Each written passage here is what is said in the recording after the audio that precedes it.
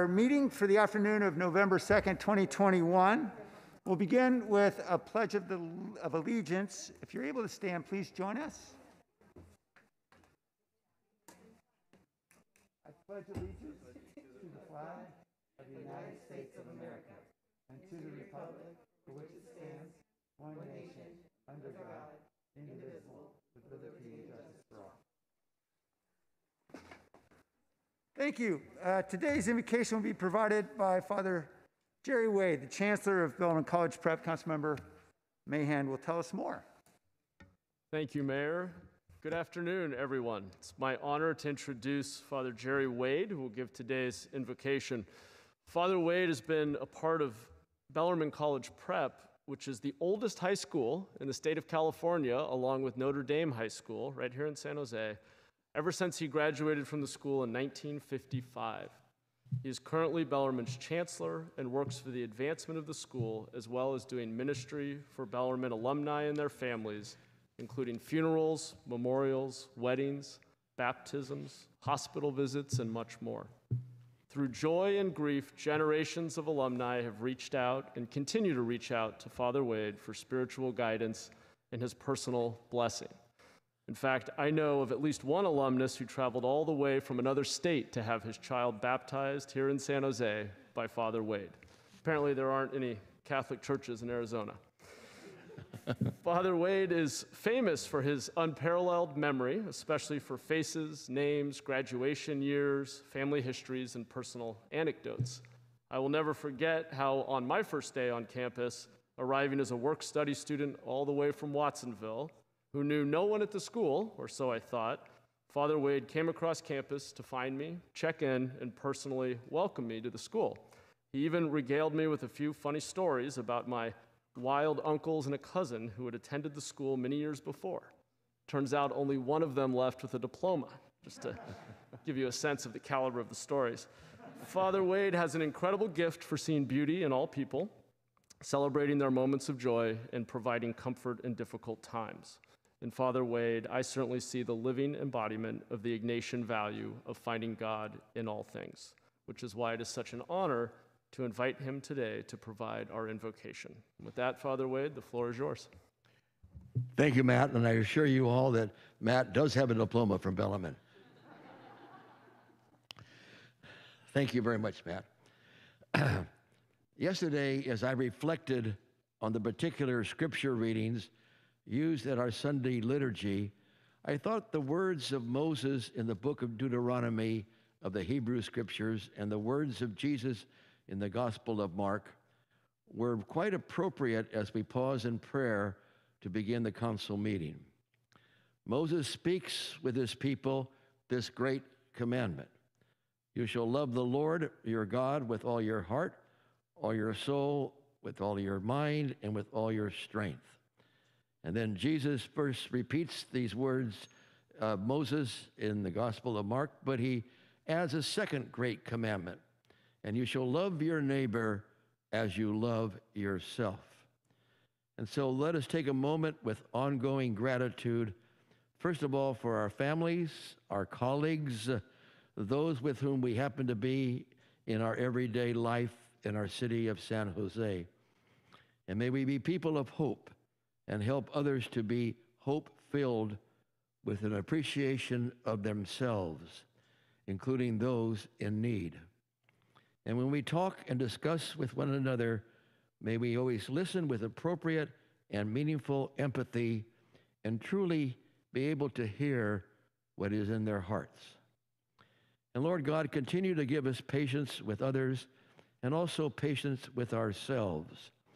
Help us to be channels of your justice and a means by which others may feel good about themselves. We ask your blessings on our civic leaders and in particular, the women and men of the City, of City Council of San Jose, our mayor, and those who serve us by sharing their time, their energy, their resources, and at times their sense of humor.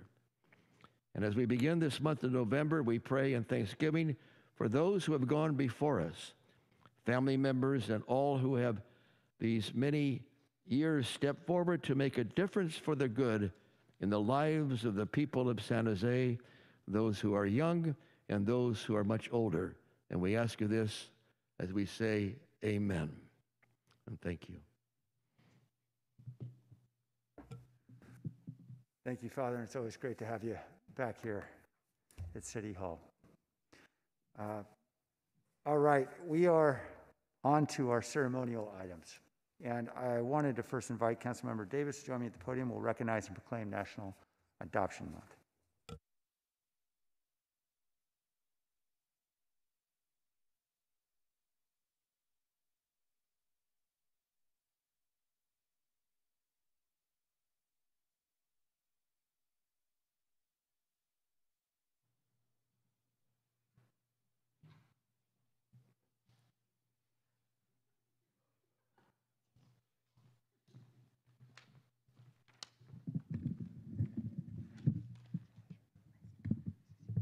Good afternoon.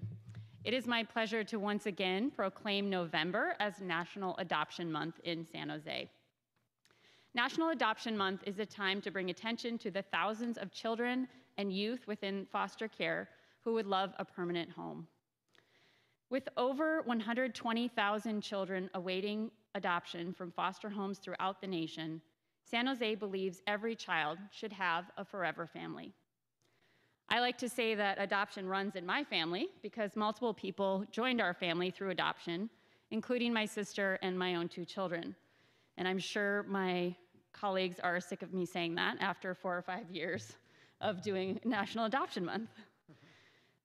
Before we adopted, my husband and I were foster parents, and we are forever grateful to the support we received along the way and continue to receive today from parents who have similar stories to ours. The Kinship Adoptive and Foster Parent Association provided that support.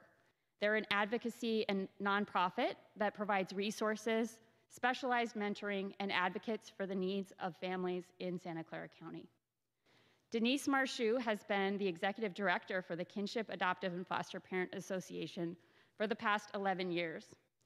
In addition to that, she has fostered over 120 children and adopted five of her 10 children. I invite Denise to accept the proclamation and say a few words. Good afternoon. First, I want to thank the council here for acknowledging adopted families this month. It's so important for us to remember that they're out there and they're raising our future generation. And today, I just want to take two minutes to talk about some of the children that come into care. First, we have Adam. Adam was born addicted to heroin, cocaine, methamphetamines, and methadone. He suffers with fetal alcohol syndrome. He's a young adult now, but because of his adoptive family, was able to grow up and become a productive adult in our community. Aaron was a little boy who had three quarters of a heart. And although he struggled at birth and struggled his first year, he found a forever home that stayed with him and took care of him until he passed away just before he was two years old. And then there's Jesse. And Jesse, we were told, was unadoptable. Nobody was going to take this little Down syndrome child that had all these problems. Well, I'm here to tell you that Jesse is a 10 year old who talks from the moment he wakes up in the morning until the moment he goes to bed at night. He is thriving, he plays ball, he loves hockey, he loves annoying us, and we adopted him, and he is mine. so he is adoptable. There is no child out there that is unadoptable. And I want to thank all the families that open their homes and their hearts and take our future generation in and love them just like they're their own. When I see my 10 children, I don't see a difference. I love them all. I'm committed to them forever and ever, and they are mine. So thank you again for acknowledging our adoptive families. We greatly appreciate it. Thank you so much for your work. Why don't you stand in the middle here? Oh, yes.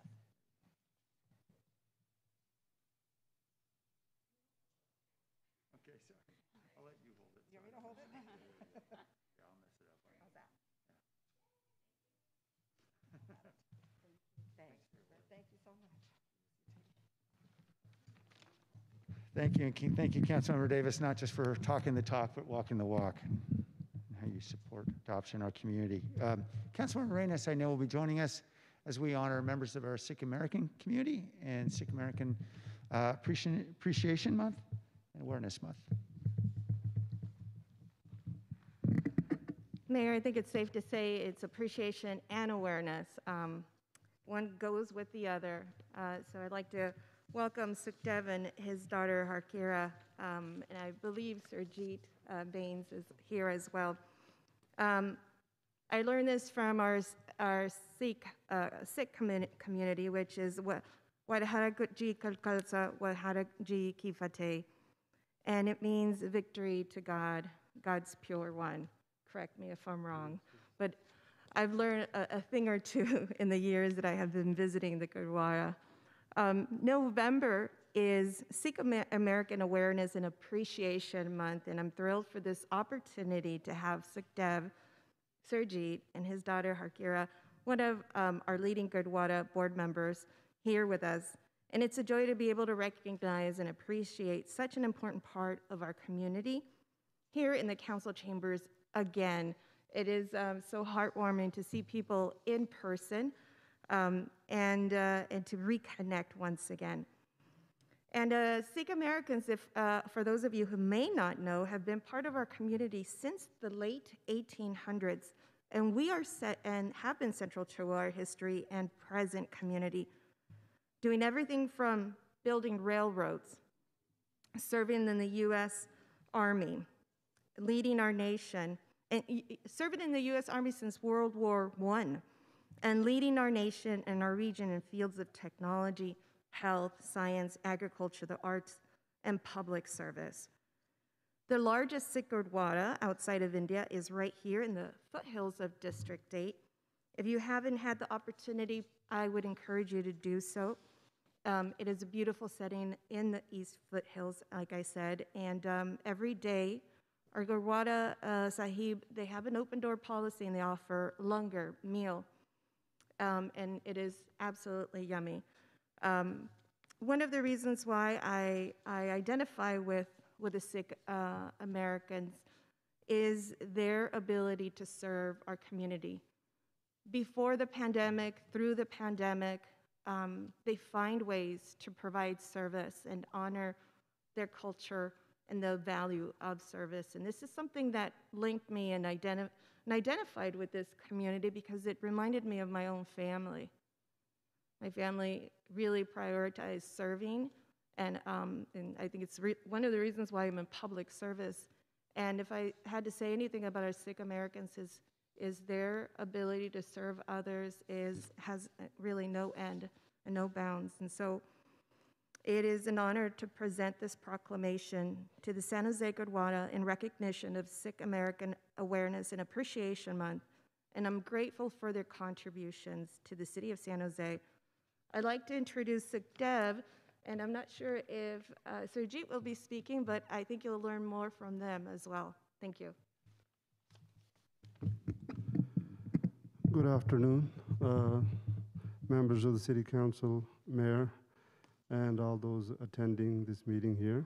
Uh, I would like to appreciate and thank the uh, council and the mayor for having this uh, proclamation in recognizing November as Sikh Awareness and Appreciation Month. Uh, The Sikh community has done, as uh, Sylvia said, uh, through the pandemic, before the pandemic, and anytime there is a, na- a national disaster of any type, uh, we're, we're there to help in any way we can. Um, through the pandemic, we did reach out to the city to see how we could help. And uh, we were able to help by providing meals, uh, you know, through different drives that we had at the Gurdwara and at uh, high schools. So, um, one thing uh, this uh, Appreciation Month and Awareness Month that's going to bring is the identity of the Sikhs. As you all can see, I'm wearing a turban. We do look different uh, than, and that does bring some challenges to the community and to the city also. So some of the challenges that we run into is hate crimes, you know. Uh, I myself went through schooling here. Uh, you know, through the 90s and then through college and all that, uh, you know, at that time, I was uh, told I'm Ayatollah Khomeini.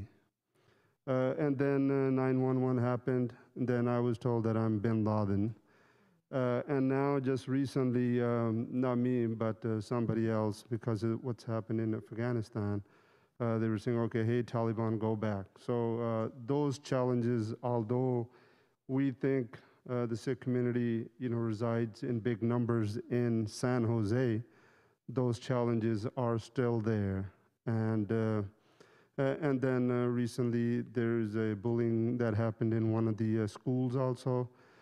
And in all those instances, we have brought it up to the uh, elected officials, and I appreciate them taking, uh, you know, immediate, uh, you know, providing immediate attention to it and taking action. So, I'd like to really appreciate that uh, to our uh, our city officials for taking action on any of those incidents that happen.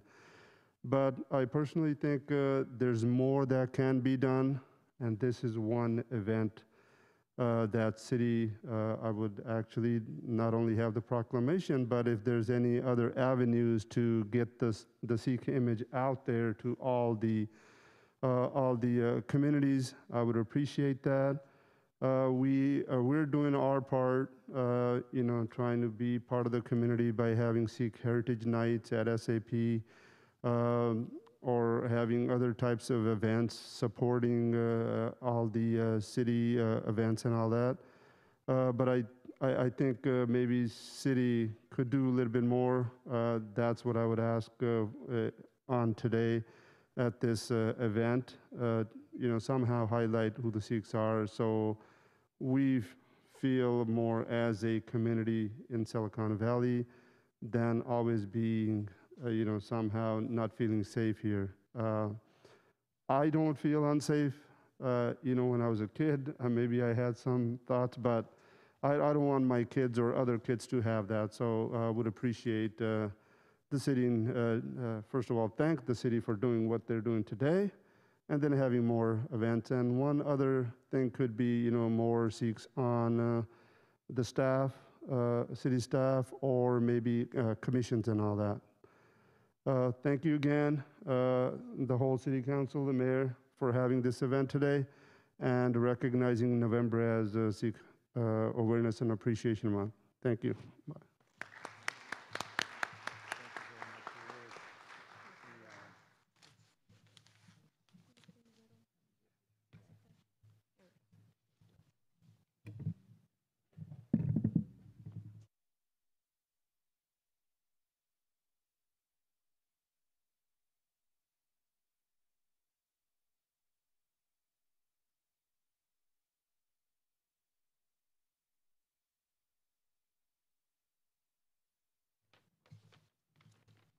Right, now I'd like to ask Salvador Bustamante, also known as Chava, to please join us. Councilmember Carrasco, I believe, will be leading us in commending Mr. Bustamante for all of his contributions to the community for many years.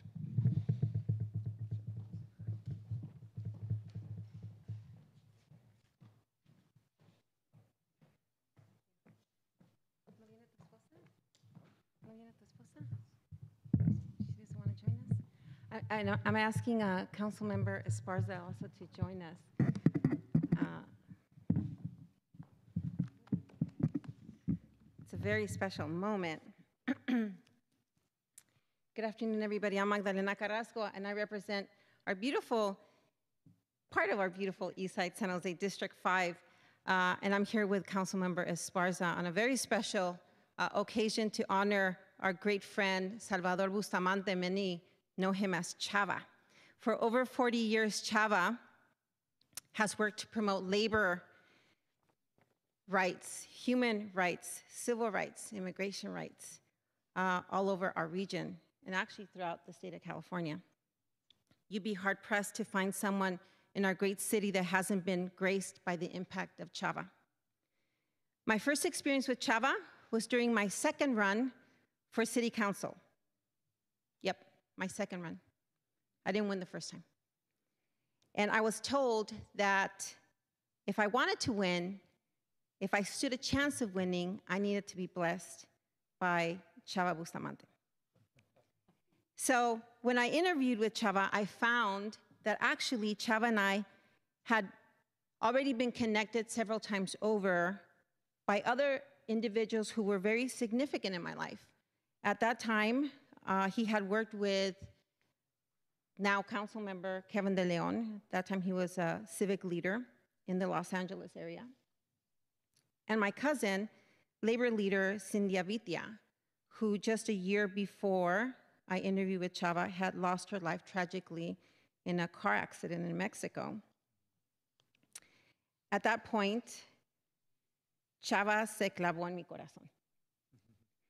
Our bond when it was inexplicably formed. We worked on many issues and shared values. But to know Chava is to love Chava. Chava's journey to the US is not unique to Chava. When I think of him, I see my cousins, I see my tios, I see my father. That's one of the reasons why so many of us connect to Chava. And I imagine that that's also one of the reasons why he's so empathetic to the struggles of others. In 1968, he came to the United States from Mexico looking for opportunity and worked the fields for 12 years, where he connected with the United Farm Workers Union in Salinas and participated in his first ever strike that year. He formally joined the union in 75, where he recognized the incredible reach and potential of the unions. After his time with SEIU, where he served for 19 years, Chava went on to help establish and work as a full-time volunteer executive director for Latino United for a New America, or LUNA as we know it. While working for Luna, Chava has helped to empower our Latino community in the east side of San Jose, but I would say citywide, countywide, region-wide. Since Chava's tenure, the program has grown exponentially. The legacy that Chava leaves behind has been one of hope, a desire to raise up our community. And through his, his dedication and hard work, Chava has helped many of our community members prosper by taking them under his wing and inculcating in them strong values. Chava leaves a legacy of leadership and mentorship that has helped pave the way for the next generation of community leaders and give a voice to those of us who historically have been without a voice. Chava has served in almost every capacity, being a fellow with the American Leadership Forum and serving on the board of several nonprofit organizations like Working Partnerships USA, Silicon Valley Rising, and Sacred Heart Community Service. Chava also lent his voice to our Berryessa flea market vendors, advocating for a fair outcome, ensuring that they were prepared with the tools for success. Personally, as the daughter of Teamsters who worked at the Del Monte Cannery plant number three, I quickly learned to walk the picket line alongside them. And although I didn't understand all the issues at the time, I clearly recognized that there was strength in unity. And I really understood that you never cross a picket line. Chava and his work is embedded in that legacy of hardworking men and women that strive to improve the working conditions of not only union members, but everybody in our community. It's with great honor that I, along with my colleague Maya Esparza and with the mayor, Sam Liccardo, and my council colleagues, present this commendation to you, Chava. Thank you for all of your work and your dedication, a lifetime of commitment to our community. Uh, I know that Councilmember Esparza has a few things to say, so I'm going to give the mic before I give it to you. Thank you to Councilmember Carrasco for her leadership in, um, in doing this important honor. Um, I just want to highlight some of the incredible work that Chava and Luna have done during COVID, this unprecedented crisis. Councilmember Carrasco um, talked about what Chava has done throughout his whole life, really, to lift people up and provide opportunity for so many people. But we've, we've been in a once in a lifetime pandemic um, and seen some of the greatest challenges that our Latino community has ever faced. And in a time when our Latino communities have been hit with the worst impacts of this pandemic, Chava and Luna stepped up to keep our residents housed, counted, fed. These are the same residents who served as our essential workers, putting their bodies and health on the line to support their families and support all of us. Under Chava's leadership, Luna was also an absolutely crucial partner in our efforts to ensure that our Latino residents in the East Side were counted in the 2020 census amid the challenges of the pandemic and the attempts of the Trump administration to cut the census short. And so Chava and Luna stepped up so that our neighborhoods wouldn't be erased in the East Side. And that's another legacy that he leaves for our communities. So again, I just wanted to recognize Chava for his leadership, for his efforts um, throughout that he's given us throughout his whole life, but also just remind folks that he and Luna have been out there in these unprecedented times. They've essentially helped save lives. Thank you, Chava.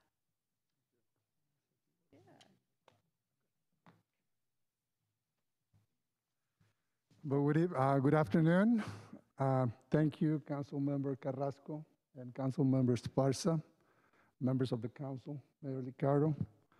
Um, I have a few comments, but uh, you know, since I'm about to be 70, I put them in writing. I don't want to forget. And um, I personally believe that uh, no one should uh, be recognized for fulfilling their duty. However, I accept this commendation with humility because it allows me to continue to speak about the issues and needs that affect the quality of life of thousands of residents in our beautiful city, particularly those who live in the east side of San Jose. San Jose is a great city uh, to live in. However, the gap between rich and poor has become wider than ever. The COVID 19 pandemic came to highlight the lack of equ- equity that prevails in our city. A couple of Sundays ago, I uh, was sent into retirement at an event from uh, Latinos United for, uh, for New America. Um, and, um, you know, I retired from my professional responsibilities as executive director of the organization. But that doesn't mean that I have withdrawn from my activism. I will remain present and active because many of the needs of our people are still unresolved. So I thank you again, and uh, be assured that uh, you probably have not heard, uh, seen the last of me. and uh, before, you know, um, I uh, stop talking, I want to recognize Roberto Gonzalez and Alfonso Mendez, um, because it was thanks like, you know, to people like them that I've been able to, um, uh, to do the things I've done. So thank you, Alfonso. Thank you, Roberto.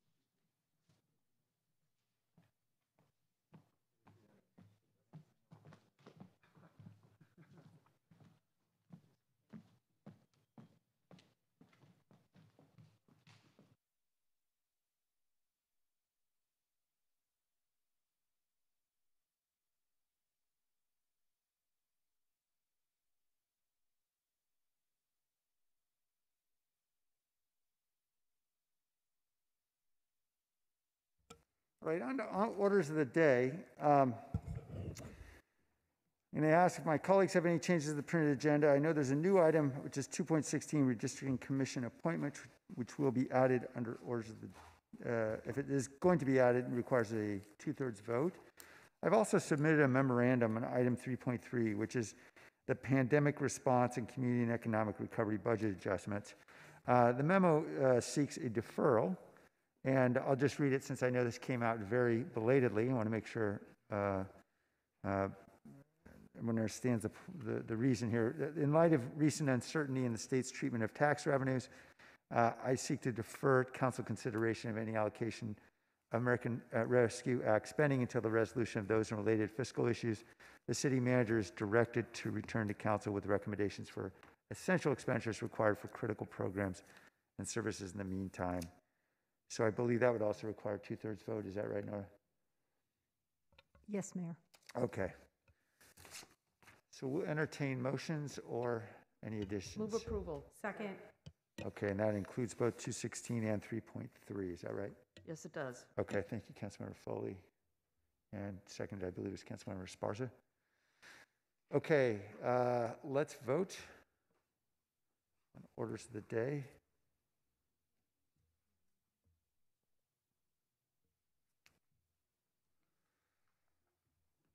That's unanimous. I think Councilmember Arenas' device is not working. Yeah, she's pointing.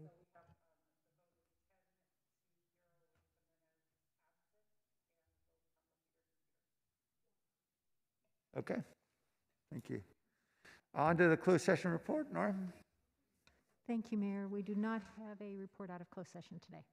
All right, on the consent calendar, um, I believe Councilmember Esparza would like to pull item 2.9, which is a grant application for the California Department of Parks and Rec Prop 68 uh, relating to park development at Midfield and Havana. Uh, and I believe there are also public comments, is that right, Tony?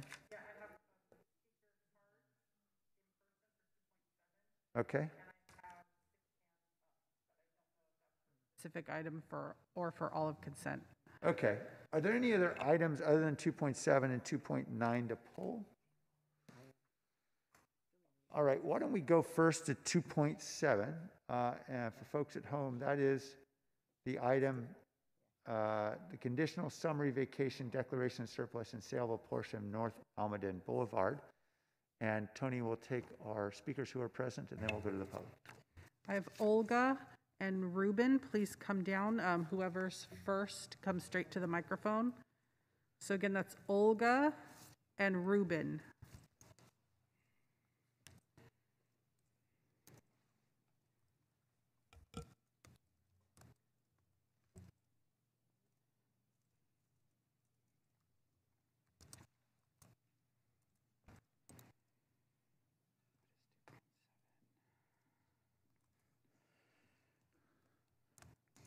My name is Ruben Uno, and I work at the Fairmont San Jose, and I have to return when, it's, when it reopen. I live in South San Jose neighborhood. I've been in me- members of the UNITE HERE Local 19 for 22 years. And we have all my f- fellow members, and I ask you to vote no on item 2.7. Thank you.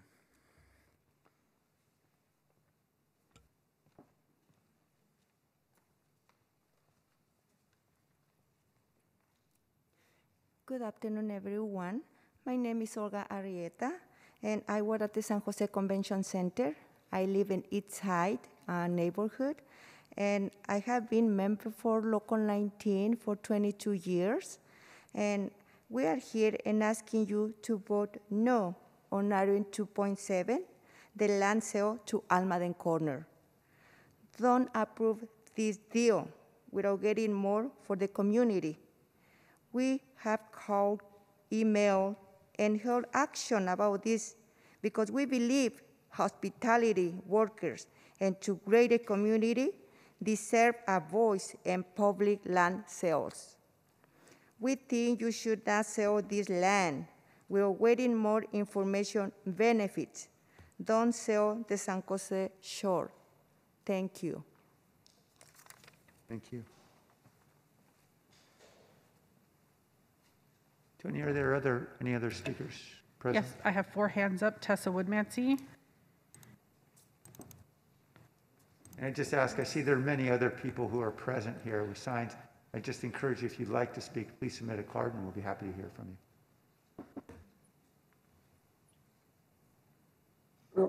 Oh, yeah, hi. Can you hear me? Yes. Okay, good, thank you. Um, Tessa Woodmansee. I just wanted to um, read something about the consent calendar. It says if a member of the city council, staff, or public requests discussion on a particular item, that item may be removed from the consent calendar and considered separately. So I wanted to take out that item in regards to the Winchester proper, uh, what is it? The, um, well, the Almaden, it's Almaden in Santa Clara. I guess that's, maybe that's what we're talking about right now. 2.7 is that property that is, um, you know, next to that hotel and, or in the corner of Santa Clara and, and Almaden. I guess that is it. So maybe we're talking about it right now. Yes, And, we are, um. Okay, good. So then that, that's good. And that is public land that I was all, but I think it's just important for us to make comments to you, Mayor Liccardo, that the public can pull and to ask us what items we want to pull as well. That was the point. And so, um, you know, I was thinking about this item on Almaden that's, I guess, next to that hotel or that, you know, it's a big um, housing complex, a tall building. And um, so, yeah, it is public land and I know they want it for some, you know, it's not a big piece, but what, in terms of our climate crisis and resiliency, any open lands should be created for growing food. And that, you know, it's easy to take open lands because it's undeveloped. And we have to really start making these transformational changes about how we're going forward. And we need to degrow. That needs to be our emphasis is degrowth because growth is fossil fuel use. And so we have to start, you know, we have to bring that down. Eight years to go to zero. That's very quick. That's what the science says. 2030, that's eight years practically now. And so this is where to create that sustainability, because those 18 wheelers aren't going to be bringing our food in. We need to start taking open lands to grow food. Gregory Kepferle. Yes, hi, uh, this is Greg Kepferle, CEO of Catholic Charities of Santa Clara County. And Mayor Liccardo, thank you for uh, uh, deferring the uh, ARPA discussion. I realize there are a bunch of people ready to, to speak today, uh, including myself. But uh, making sure that the community has time to weigh in on the priorities is also going to be important in addition to whatever the state tax consequences you're looking at. The other issue is, I think, uh, the memos that uh, council members Arenas and Esparza uh, presented, um, I think deserve more consideration and looking at uh, how uh, investments in our children in terms of childcare capacity building, as well as promotores uh, within the, the safety net areas of the community. And then, of course, all of the other recommendations in terms of the economic development that is centered in equity that uh, the other council members have have proposed. So I just want to say uh, thank you and uh, keep working. We'll keep providing input. Blair Beekman. Hi, uh, Blair Beekman here. Uh, it being uh, the beginning of November, uh, I guess I wanted to ask a few procedural questions about uh, how consent is run. First, a thank you to the previous two speakers uh, about this item today. Um, I really like the current mural that's in that area. So uh, thank you for the public comment. Um, I, uh, I'm a bit concerned that uh, uh, orders of the day, closed session report, and the city manager's report, it has an inconsistency about allowing public comment. And I will speak more at uh, open forum time to ask uh, how it can be a more consistent process. Um, I guess that's about all for now. Uh, will you be taking public comment uh, on the dropped item today? Uh, and that's another question to ask about consistency issues. Thanks for your time, and uh, hopefully you can allow time for uh, public comment on the remainder of consent items uh, after these two pulled items. Thank you. Mr. Beekman, you haven't spoken on item 2.7. I- I'm taking your comments as comments on the entire consent calendar.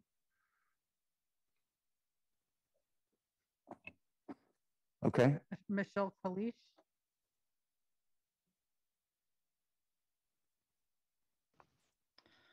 Hi, um, my name is Michelle Kalish, and I am against uh, 2.7. I just wanted to add co- public comment on that, and that's all I have. Thank you. Louise Auerhahn. Uh, hello, Mayor, Council members. Louise Auerhahn from Working Partnerships. I was attempting to comment on the deferral under orders of the day uh, with item 3.3. We understand this item needs to be deferred, but we did have a large number of community members wanting to speak on it. So I hope that when it does come back, it'll be presented in a way and with enough time that the community is able to give input. Uh, possibly consider having it at an evening session because it was difficult for people to schedule to come today and it, it will be more difficult the next time it comes around. Uh, so just wanted to ask you to give consideration. Uh, we also uh, strongly support the memo that was submitted by council members Esparza and Arenas with proposals for funding greater equity and support for working people with those funds and look forward to talking about that more fully when it comes back. Thank you. Gabriel.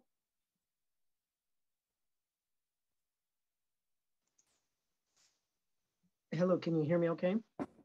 Yes. Yes, um, Gabriel Hernandez with the uh, Si Se Puede Collective. Um, I'm actually uh, speaking to item 3.3, I guess that has been deferred now. Um, and again, we would like you to consider, again, the memos um, moved by Arenas and Esparza. We think that um, our children need and deserve more. Uh, we would like you to consider again those memos in allocating the resources uh, to augment child and youth services. Um, they also should be used to expand after school programs, um, full scholarships, um, uh, child care services, um, you know, things where, again, especially in the neighborhoods that we organize in and work in, um, and that were impacted very much so by the pandemic.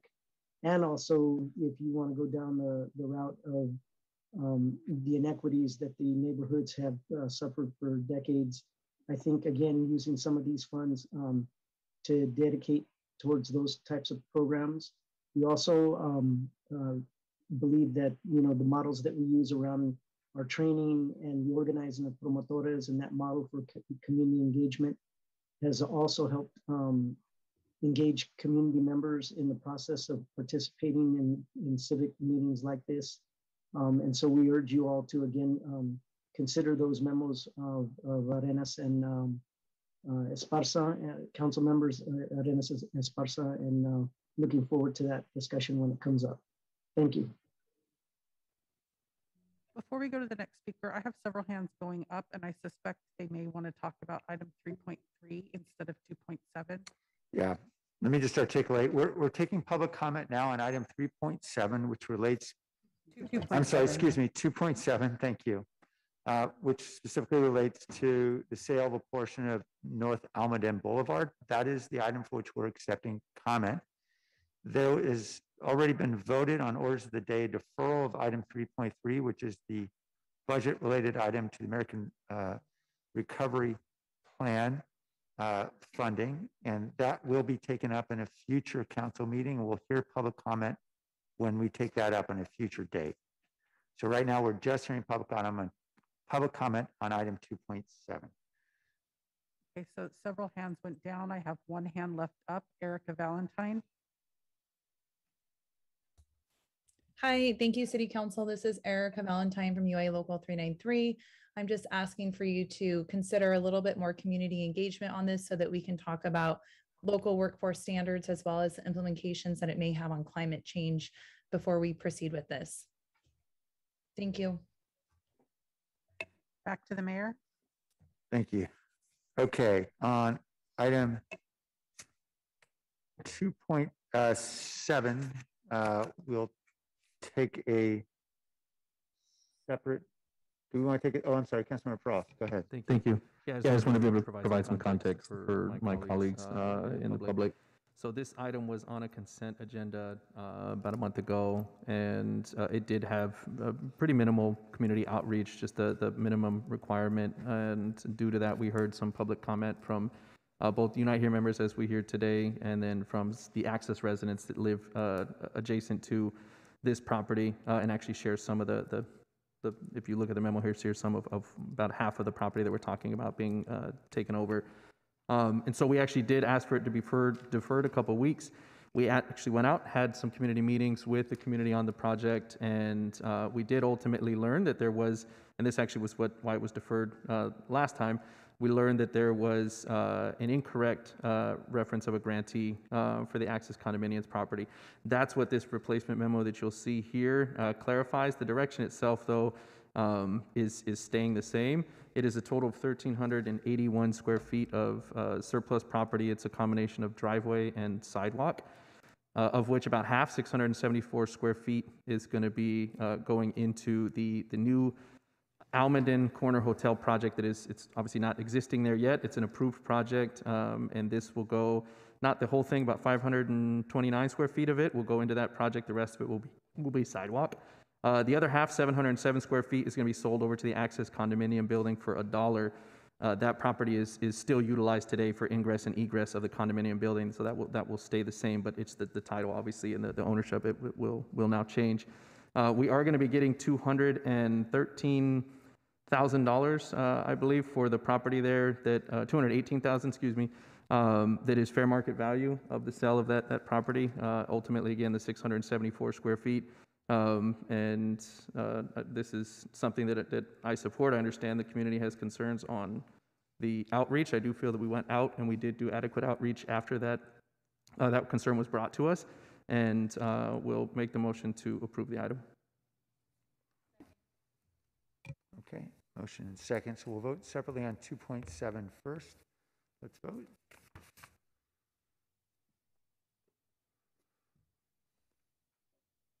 All right, That vote is unanimous, one, one absence. All right, item 2.9 is a grant application uh, for Prop 68 money for the park at Midfield and Havana. Councilmember Esparza? Thank you, Mayor. Um, If we could pull up a photo um, for this item, uh, that would be great. Um, In 2014, the Tropicana Lanai community came together with the idea of turning a small, unsightly piece of Caltrans property along a sound wall that was often a problem site in the neighborhood and turned it into a community gathering place, a place for kids to enjoy, a place to host the many holiday celebrations, and importantly, a place the community can be proud of. In 2015, Luna applied for and received a grant from the Open Space Authority, taking the community one step closer to this dream. And I believe the Open Space Authority is on the um, online, and we can pull that up after because I'm hoping she'll, uh, Andrea can make some remarks. Yes. So, unbeknownst to the community, this was the start to a six year battle of working with three different government agencies and a nonprofit, along with bringing the community into every step of the decision making process. Though many obstacles existed, the drive, passion, and persistence of the residents within this community kept this project alive and progressing through every devastating blow and through every small win. This is a community that was selling tamales to raise money for a park. So, saying this pocket park is important to this community is a major understatement. Being designated as a community of concern, many members of this neighborhood live with overcrowding and a complete lack of publicly accessible open space needed for the many young families in the neighborhood. There is no park in this neighborhood. So, the Havana Midfield Pocket Park project has grown from a simple pocket park along a sound wall to really an example of how commitment from the community, a nonprofit organization like Luna, and several public agencies can make a project happen, even if it takes years of monthly meetings between all the stakeholders and countless hours by the community, Luna, city staff, and my staff to ensure that we are making progress no matter how small. So I, I pulled this item from the consent calendar because although it may be one of the smallest items we vote on in this meeting. Today's action, pending the award of the grants, we will be closing the funding gap for this pocket park, which would allow us to break ground next year. And you'll see in the photo, that's the mural that we did along the sound wall, and that patch of dirt is what the neighborhood, they pick up trash. Um, They do it regularly once a week, but if somebody, if they're, if you see litter, someone will come out and they'll pick it up so that it doesn't get dirty. So there are so many people that contributed to making this project happen. I'd like to thank Victoria Partida, president of the Tropicana Lanai Neighborhood Association, Andrea McKenzie, general manager of the Open Space Authority, who you will hear from in a minute, Chava Bustamante and Luna, David Johnson, Eve Zudi from PRNS, Jane Wu from Public Works, Thomas Harris and Kevin Ice from Real Estate Services, and I'm going to give a shout out to Nick Caspar on my staff.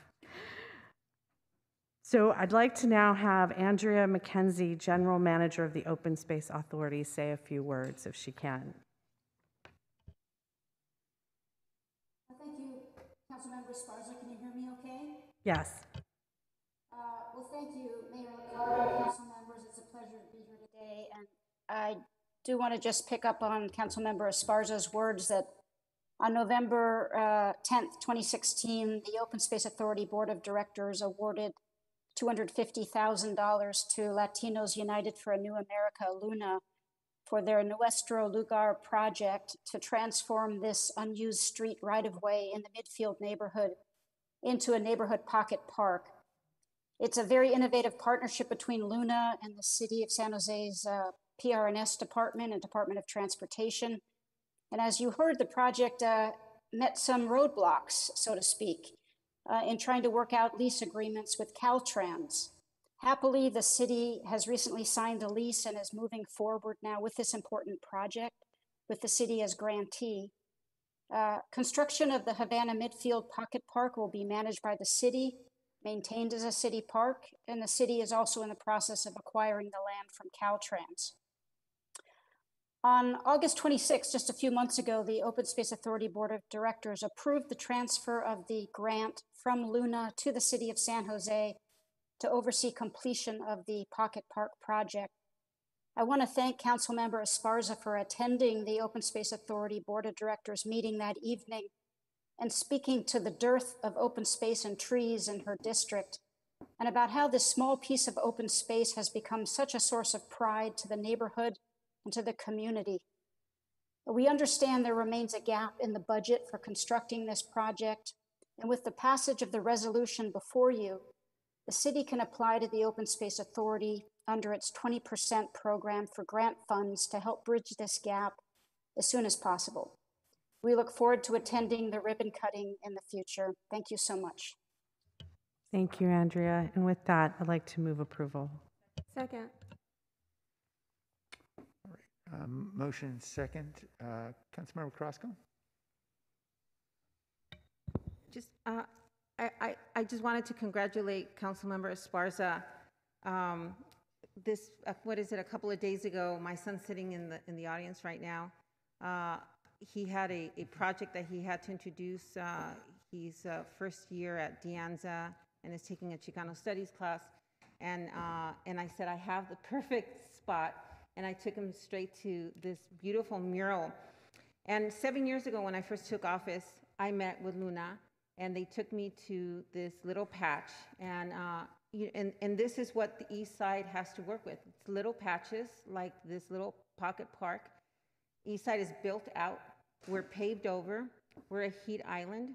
Uh, and and uh, wherever we can find a little piece of land, we, we either turn it into a park. And uh, of course, our city manager went on a tour with me, and I had the pleasure of uh, showing her that we have no land to, to create parks or, or plant trees. And so anything that we can get, we're, we're grateful for it uh, because that's just our reality.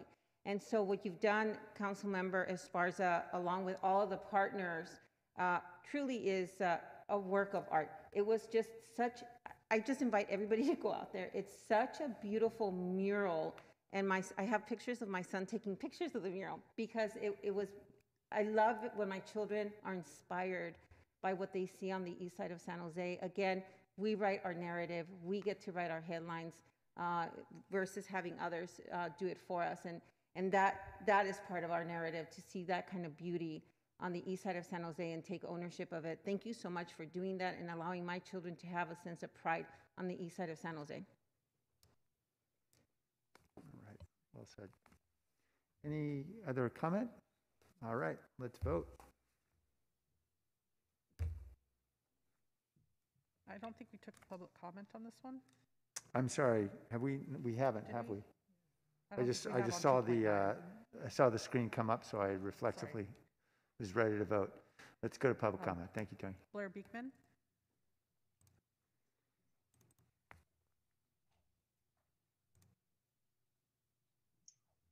Hi, uh, thank you, Toni Taber, ver- uh, very much. Uh, I wanted to speak on uh, the redistricting item. Would this be the time to speak on that?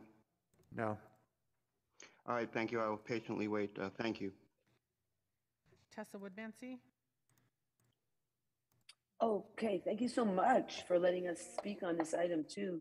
Um, yes, I'm very uh, happy at what's happening with the Open Space Authority giving money to the city to, or, you know, to the nonprofit Luna to then give it to the city to buy that land. I guess they had to buy it. Um, or to develop it, whatever, wherever it was, they got two hundred fifty thousand dollars to do this transaction, which is wonderful. And it, I, I, I always thought that the Open Space Authority, when I've kind of contacted them or somebody um, about it, you know, that they don't do this like in uh, inner inner urban kind of land buying. But I'm just so happy that they did do this because this is where we need to make San Jose a garden again. We need to make the earth the garden again, but you know, it, it, it's one neighborhood at a time, and just so happy that you know that the Open Space Authority sees the value of you know putting money into our urban core to create the you know to bring nature back in here because you know that's what we need to start doing is doing that so that people um, don't have to go up to Tahoe or even out to the you know Coyote Valley because that's usually driving a car out there or you know there's no transit and even our transit isn't fossil fuel free. So you know and it's too far for a bicycle or whatever. And the thing is is that you know this is where we need to make our, our city a garden again and make it beautiful to live here. And so that's where i was um, hoping that they would even help us um, to, to buy the land at 615 stockton avenue too to you know which is open space and we have also our problems of the pollution and and how we need to take the open spaces and turn them into um, the valley back into the valley of heart's delight to deal with our ecological collapse to bring the birds and bees and butterflies back as well as to save ourselves Back to the mayor. And we already had a vote before the comment that was 10-0 with Jimenez absent. Okay, would anyone like to change their vote in light of the public comment? I'm not seeing anyone jump up. Uh, Councilmember Carrasco, I'm assuming that was from a prior comment? Okay, so I'll clear that. Okay, uh, let's now take a motion on the remainder of the consent calendar. Move approval. Second. All right, any comments on any other items on consent? I would like to say that um, Councilmember Jimenez just signed on, so we will need to take a roll call vote.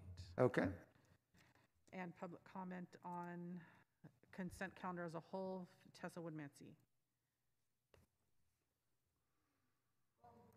I, I think there was another item. I really appreciate how you're putting up the signs about things. That really helps the uh, information about what we're talking about. Oh, um, yeah, you hear me?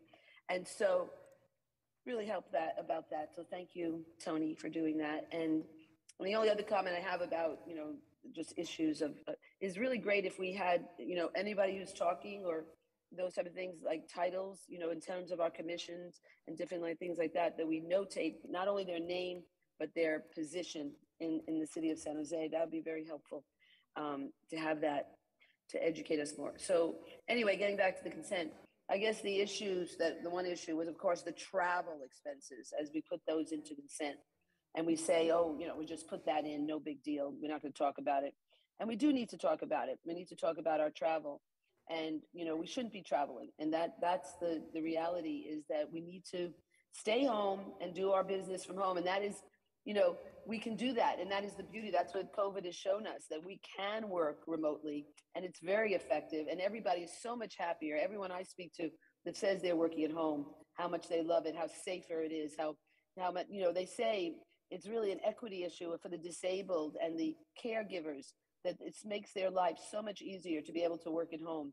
So when we, so in terms of the travel, we shouldn't be traveling. We should be doing our, our meetings remotely. And even I talked to MTC today when they said they were going to put a mandate for us all to work at home, anybody who could, and make that a, requirement. But the but the city, the big cities, San Francisco and San Jose, their mayors, you know, fought that because they want business as usual, people to come out, and and and so we, we're consumers, you know, and that's where they want us to keep consuming to keep this economy going. But we need to transition our economy to become producers. That's that's what we need to become is producers, self-sufficiency. And this is a transition to be able to work at home to help us become producers. Blair Beekman? All right, thank you very much for allowing myself uh, public comment on remainder of consent al- uh, items. Um, For item 2.16, Yeah, is, uh, re- Toni, actually, we already heard comment. no, I, I, I, I was speaking, I spoke on the item, uh, on 2. Okay. Are there any other comments not heard yet on consent? Okay. All right, let's vote. Jimenez? Yes. Morales? Yes. Cohen? Carrasco? Yes. Davis? Yes. Esparza? Yes. Arenas? Yes. Foley? Aye. Mahan? Aye. Jones? Aye. Liccardo? Aye. I hear a door. I know. Cohen? Thank you. That's unanimous. Okay, saved by a door. We're on to item 3.1, which is the report of the city manager. Jennifer? Um, yes, thank you, Mayor. Um, I wanted to officially kick off our annual combined giving campaign. This year, our theme is Give a Little to Help a Lot, and it is very appropriate for the times that we're in. Now more than ever, we can provide a better day for people through dozens of essential programs that are funded through the city's annual combined giving campaign. And to give you an idea of, of our contributions, during last year's campaign, city employees donated $147,000, contributed over 3,200 hours of service, and donated over 175 items for our community. This year, we've set a goal of $155,000 and hope to increase volunteer hours and donated items by 5%. I just looked, uh, we just launched this morning, and we've already, as of 2:11 p.m., raised almost uh, $15,800 already, and it's just been a few hours. So I really congratulate our employees for doing that. Um, and I want to thank them all in advance because our, our campaign will be going on for a little while. I do want to recognize our Fire Chief Robert Sapien Jr. and team members in the fire department for coordinating this year's campaign alongside the department coordinators who will lead each of our department's efforts. I also want to thank the four foundations that partner with us the United Way Bay Area, Creating Healthier Communities, America's Best Local Charities, and Earth Share of California. And now I'd like to invite Chief Sapien to say a few words. Thank you.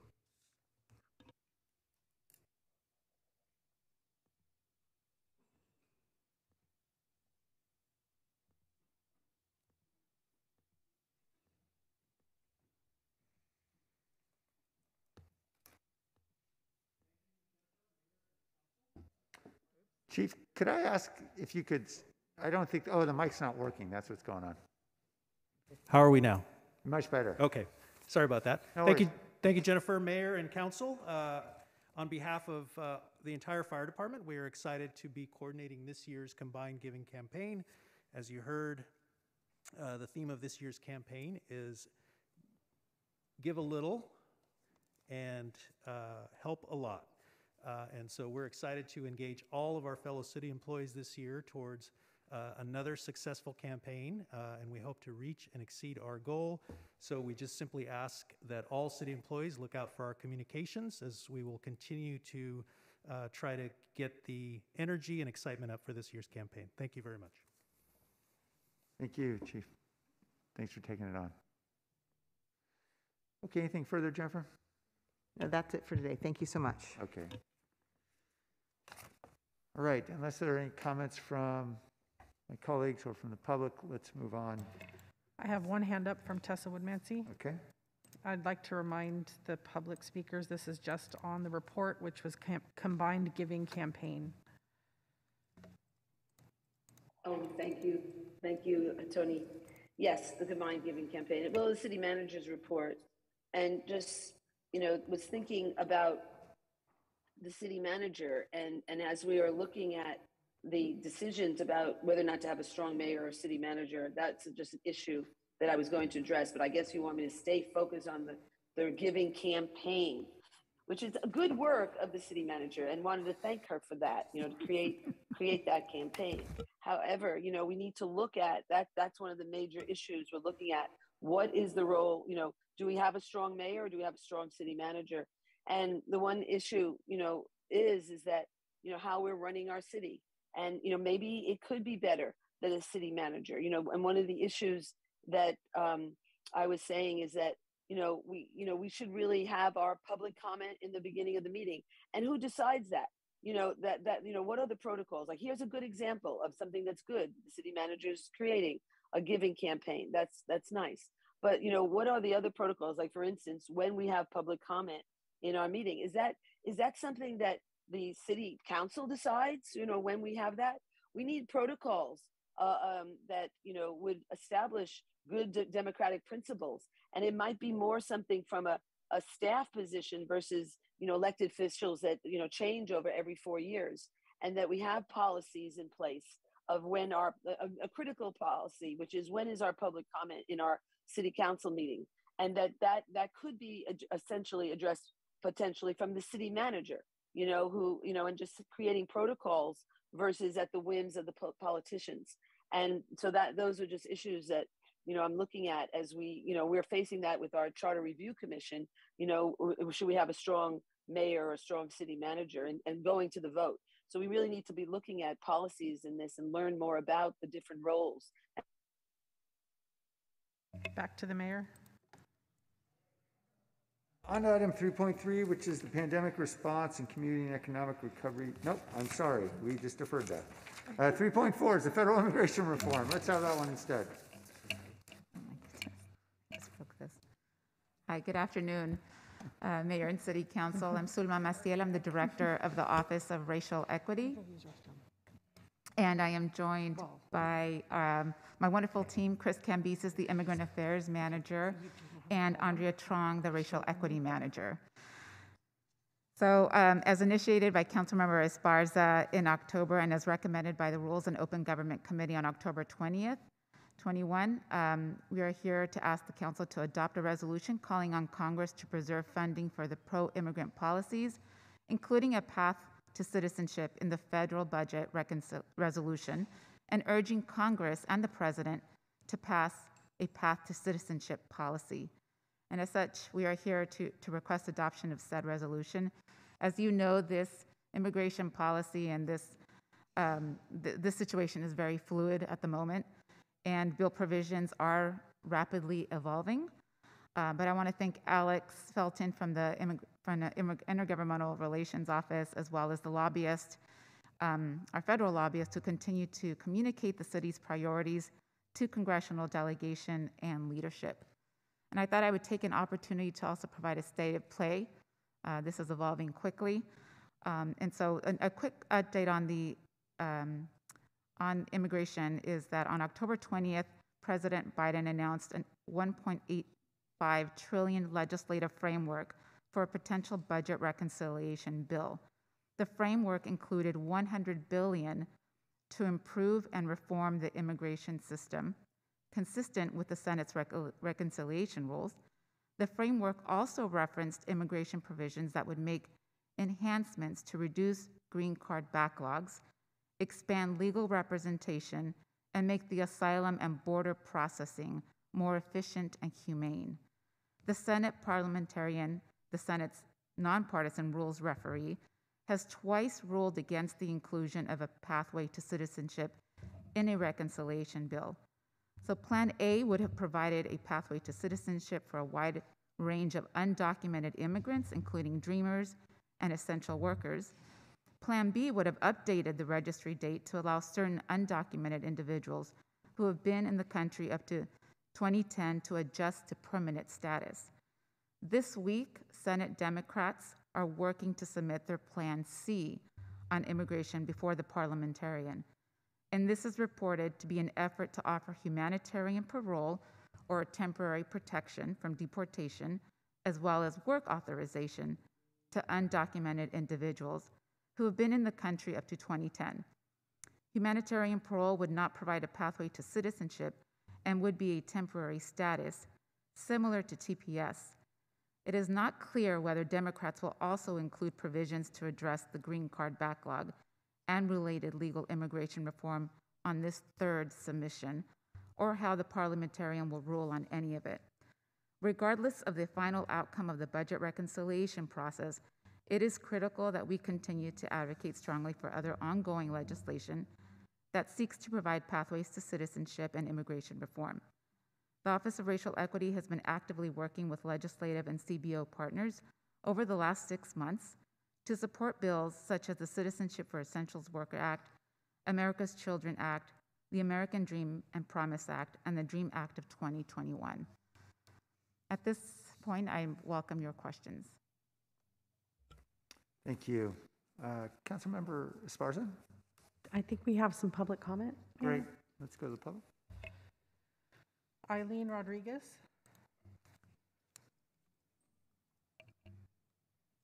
Hi, uh, thank you for allowing to speak um, this section.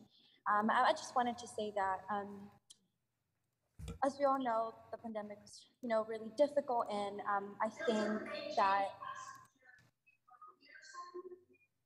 all undocumented folks, such as farm workers, janitors, and essential workers, as such as security officers as well, worked really, really hard throughout this pandemic, and they deserve the pathway to citizenship because they contribute to the economy and other civil duties like any other citizen does.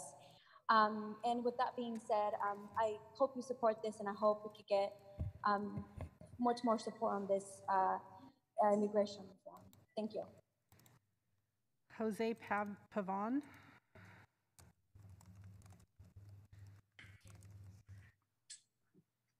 Good afternoon, uh, San Jose Council members.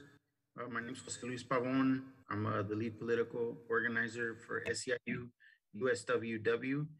And um, we have thousands of members in the city of San Jose in our union alone um, who are immigrants.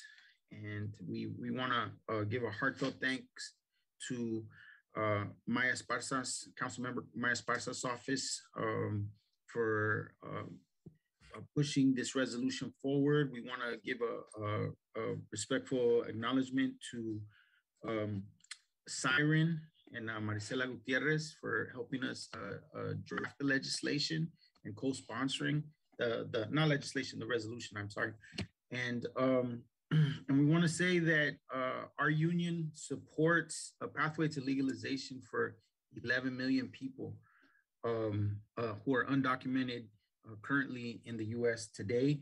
Um, we we support, um, you know, of course, uh, prioritizing essential workers, um, fighting for uh, people in the DACA program and the TPS program, farm workers, um, but we also want to extend the ask to ask the federal government and Congress to, to create a pathway of legalization for 11 million undocumented people.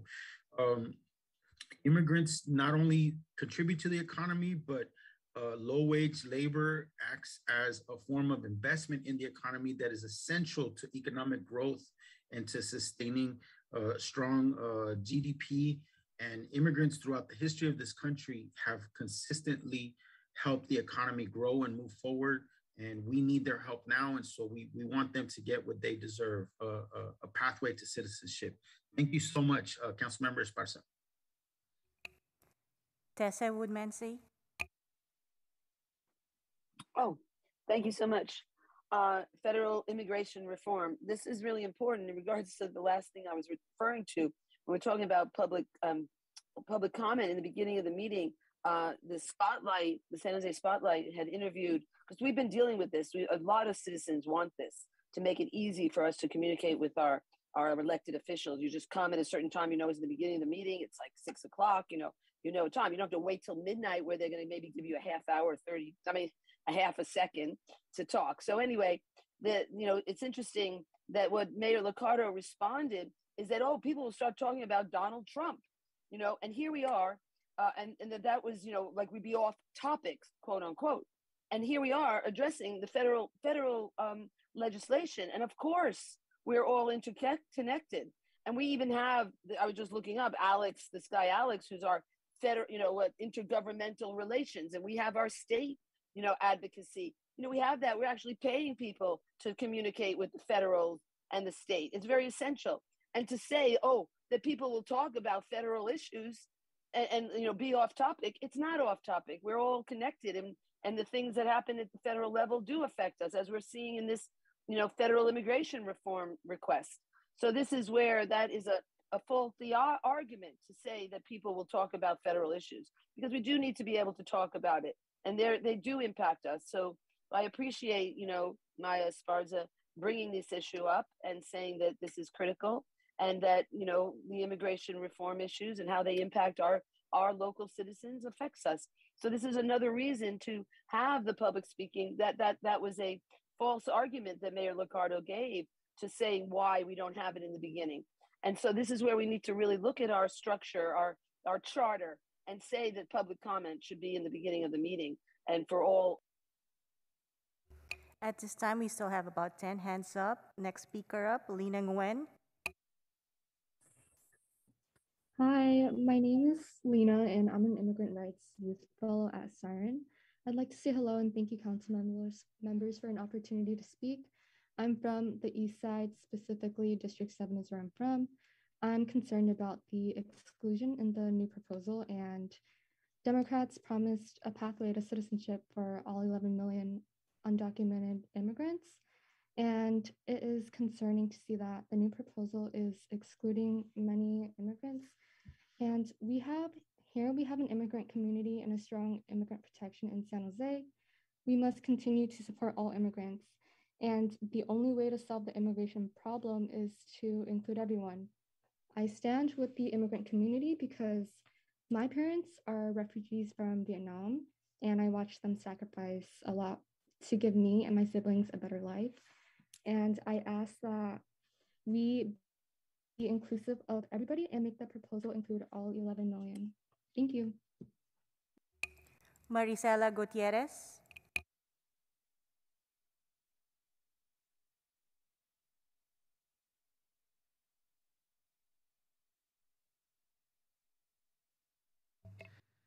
Maricela?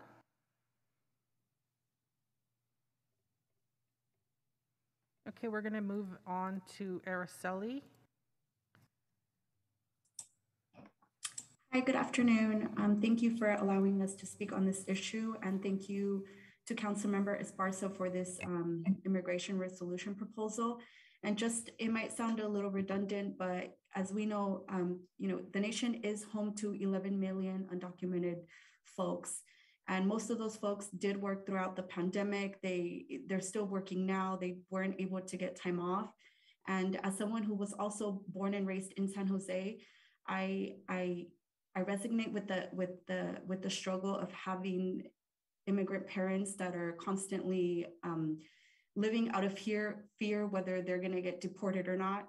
And there's a lot of children in in San Jose that also live with that fear that their parents might might be taken away. And when their parents contribute to the economy when they they they pay their taxes you know they they try to stay as as low key as possible to not to stay out of trouble and it's just something that is owed to the undocumented community just a pathway to citizenship it's been talked about in past administrations. It's it's a, the talk now with this current administration, but there's no moving forward. You know, like there's always all these promises to the undocumented community, but they're never given a permanent pathway to citizenship. So if you guys, if the council could please support Maya Esparza's um, proposal, that would be great. And thank you, Council Member Esparza. Mary Ana Cazares.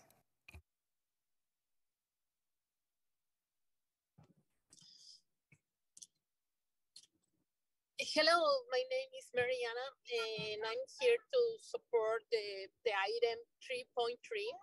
And I want to support uh, the mayor's proposal, the mayor's in San Jose, Sam Liccardo, uh, proposal of to fund a tutoring program using American Rescue Plan dollars So I'm here uh, you to the council members to to give room to discussion for this other item also. So thank you.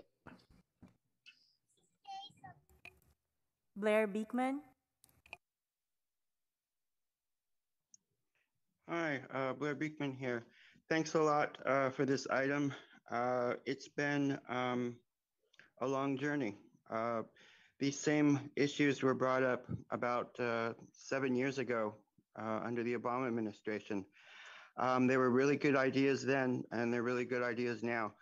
Good luck how we can move forward with this issue. Thank you very much for the presentation on this issue. I think it covered a lot of ground and it described a lot of ways to talk about uh, this issue uh, very well.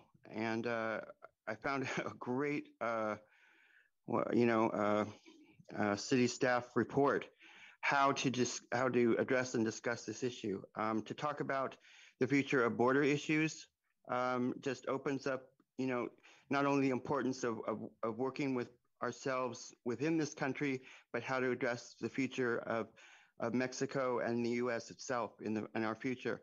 So uh, a great item. Thank you for its discussion and good luck to all of us. Uh, man, hopefully this is a time we can be moving forward. Thank you. Call in user one.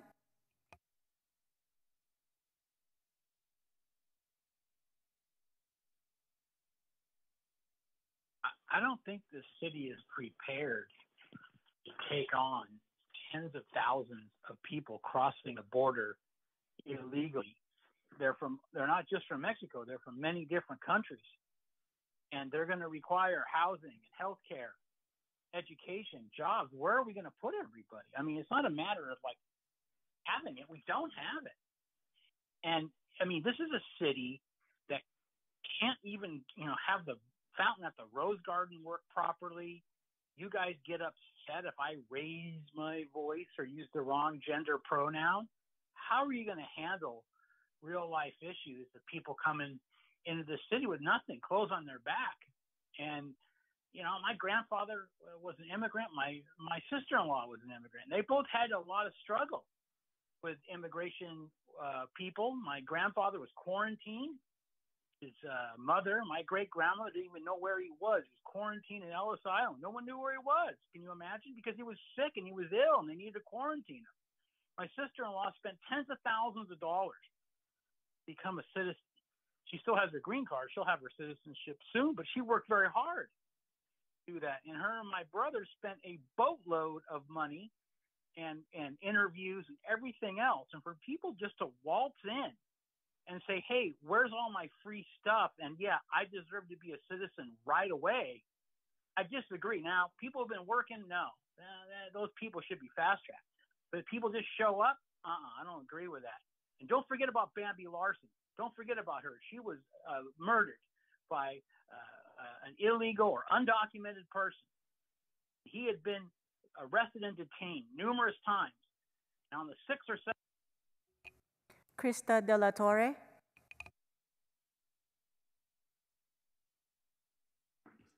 Hi, good afternoon. My name is Krista Delatorre, and I am here on behalf of the South Bay Labor Council to support Council Member Esparza's federal immigration reform resolution. It is incumbent upon the Biden administration to fulfill their campaign promises and their Build Back Better agenda by providing a clear and direct pathway to citizenship. There are over 25,000 undocumented immigrants in San Jose who are our neighbors, friends, classmates, coworkers. Many of them are frontline workers, and all of them are fellow taxpayers. Um, these folks perform many of the essential duties and work in our communities, like providing healthcare services to our most vulnerable residents. Um, during the pandemic, we saw the extent of the struggles our undocumented community face on a daily basis. Many undocumented families assumed high health risks, working tirelessly on the front lines to provide vital resources to our community and safeguard our health, all while living in the fear of deportation. It is high time they receive the path to citizenship that they have been so long denied. Um, currently, the Senate parliamentarian is blocking efforts to pass comprehensive immigration reform, including a pathway to citizenship for our nation's 11 million um, undocumented immigrants. Um, and we have a supportive presidential administration right now, so we really have this historic opportunity to act now and break through decades of political impasse and actually accomplish um, some immigration reform that could benefit many of our undocumented folks here in the United States. So today I ask the council to urge our congressional and presidential leadership to take bold and aggressive and immediate action on immigration reform. Um, right now, there is a, or there's been a recent federal ruling on DACA in Texas, and it's called into the question the future of um, of the program and we need to really act um, urgently so we might not have a better chance right now to improve the lives of millions of hardworking immigrants all of them who have taken enormous risks and faced unfathomable hardships to build a better life and future for themselves and their children so again i ask the council to urge our Brian? Thank you. Um, I have to agree with uh, Cong- uh, congressperson, sorry, maybe later. Um, uh, the uh, two things put forward by the councilperson and Mayor Liccardo. I didn't read all of them, so I'm talking a little bit from what was said. I just want one thing really that should be really clear. People who've worked through the pandemic, people who are undocumented and have put in or or able to should be uh, there should be a clear path. What's the expectations? It shouldn't be a political football like it seems to be. But within that population, whatever group, um, there are people who take advantage of these people who are already afraid because of their potential of being deported. So that people who have committed violent crimes and are let out of the uh, justice system don't come back into the country and commit more violent crimes. I'm not trying to say that in an unkind way. You know, there's other, there's some crimes that are like, you're taking stuff because you're hungry. You know, I mean, I don't know how to say it. I don't have all the the vocab, you know, to try to make it really clear. It's just that I don't want to see these people who, have, who are trying to become citizens taken more advantage of, is what I'm trying to say. And it's just really important to make people wait down there so long or to have to cross those dangerous places and to arrest people who's just trying to give them water. I mean, I know we need quote unquote secure borders, but it doesn't have to be cruel. So it's not an easy thing, but it should be really built into it that people who are violent and people who are who take advantage and people who steal and all of that, you know, lots of stuff. People who uh, commit fraud and that take advantage of other people's situations, um, that should be uh, looked at too. Thank you. Azucena Nava? Hello, thank you for the opportunity to speak. My name is Azucena and I organize with Services Immigrant Rights and Education Network, SIREN. I'm also the constituent of District 7 and daughter of immigrants living in San Jose. I'm calling in support of all 11 million undocumented immigrants, which is not necessarily reflected in the resolution to call on Congress to preserve funding for pro-immigrant policies, including a pathway to citizenship. It's discriminatory to exclude anyone based on criminalizing labels that are historically harmful. Our families want to continue working without fear of family separation or deportation from this country. Asking for 11 million is not asking for too much. Many of our immigrant community members that are excluded have been waiting for a pathway for far too long. Um, this includes my family, and we can no longer wait. And quite frankly, waiting time is over. We're at a crucial junction to pass a long overdue pathway to citizenship and we need as much support as possible to urge Congress to take a bold action. Um, your voice, city council members, and support will make a difference. Um, please pass this resolution to echo the voices of community members like me who know that we need citizenship for everyone, not just some of us. Um, thank you. Jose Servin? Hi, uh, my name is Jose Servin, and I'm calling as an organizer with Siren, the services, um, yeah, Siren, the organization. Um, and I'm calling to speak on behalf of item number 3.4.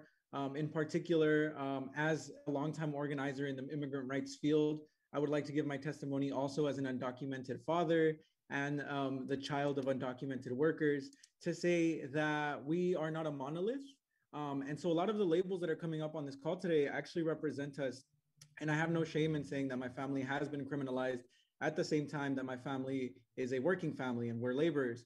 Um, and so for that reason, I would strongly, strongly encourage um, the council members who brought forward this bold proposal to make it bolder and to include all 11 million people in this country. if you look at the numbers, even under the strongest proposal brought forth by the Democrats, um, we would only have about half of the undocumented population in California benefit from any sort of um, pathway to citizenship. And so I think it, we owe it to our community members, we owe it to our undocumented neighbors um, to fight for more and to continue to fight for more, especially at a moment when we have the historic opportunity of having power in in um, in the White House, having power in the House, and having power in the Senate. Um, and so our words matter. Um, our words matter a lot. Um, we saw this happen. We saw the power of words the past four years um, in terms of criminalizing, um, brutalizing, and stratifying our community and making us the scapegoat for whatever problem you want to name, immigrants were named the problem. And so I think it's time for us to be bold on the counter, right? To uphold our immigrant communities, uphold our values, um, and to really be inclusive of everybody, because unfortunately, the people being left out are the people that need help the most. Um, thank you. Thank you for your time. Marisela? Hi, good afternoon. Uh, this is Marisela Gutierrez. I'm the Executive Director of Services Immigrant Rights and Education Network, also known as SIREN. SIREN's been in serving the San Jose community, Santa Clara County, for 35 years. And um, through these 35 years, we've served everyone regardless of immigration status, criminal status, or where they come from. And it's been an honor for me to do this role these past six years. Um, the resolution, we're very excited that the resolution is being pushed forward. We know that a pathway to citizenship is very much needed to the millions of 11 millions of community members that reside in the United States and also San Jose being one of the, the largest counties with immigrants in the Bay Area, we know that not only is this uh, important, it's as a sim- sim- symbolic gesture, but also important to show to our community that we stand with them.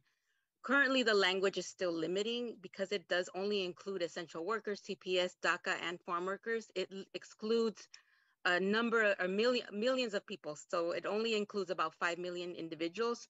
We're pushing for all 11 million. So we ask you to reconsider the language to actually expand it to include all 11 million um, to assure that our communities is not, is not left out. The communities are all included. Um, in a county where we have the, the strongest sanctuary policies in the, in, in the country, you know, with a civil detainer policy that protects immigrants, we want to assure that this um, symbolic uh, resolution also represents that's for our communities. And um, and as an organization that went out and hit up, hit the hit the hit the streets, was on phone banking, was uh, calling and texting almost 600,000 people to turn out to vote in the 2020 elections. We know that it's important for our, our democracy and for the Democratic government currently in office to also take a stand for immigrants. And for this reason, we're asking to reconsider the language that's currently being proposed in the resolution to be inclusive of all 11 million. Thank you. Paul Soto?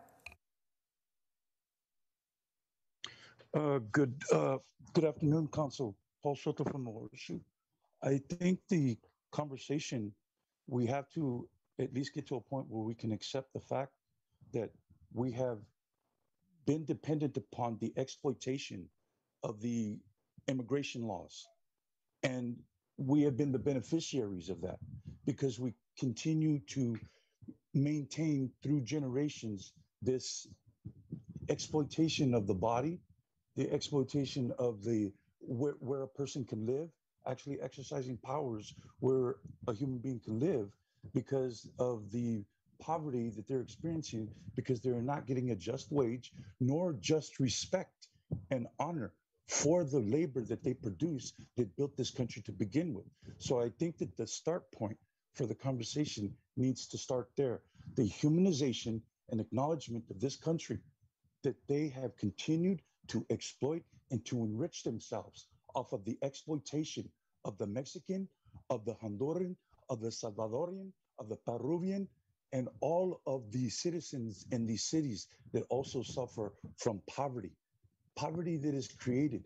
We have not challenged ourselves to discuss the red line policies and how those red line policies were informed by much of the language that I heard today. Brian, the reason why it was hard for you to describe what you were describing because they are not your words. I can tell, I can sense it, I can hear it. Don't do that again. It's really unbecoming of you. But to the topic, we need to start discussing these uh, federal immigration reform laws within the context of us understanding that we have been the beneficiaries of the exploitation of them. Back to the mayor. Okay, thank you. Councilmember Esparza. Thank you, Mayor. Um, I want to start by thanking uh, Siren, SEIU, and other advocates like the Asian Law Alliance who advocate for our immigrants every day. Um, I brought this forward because I think San Jose, as the 10th largest city in the country, has a responsibility to speak up on this nationwide issue, but also this is a local issue. 25,000 undocumented immigrants are in our community, they are our residents. And the timing of this is really important. We're at a crucial time in our nation in terms of immigration reform at the federal level.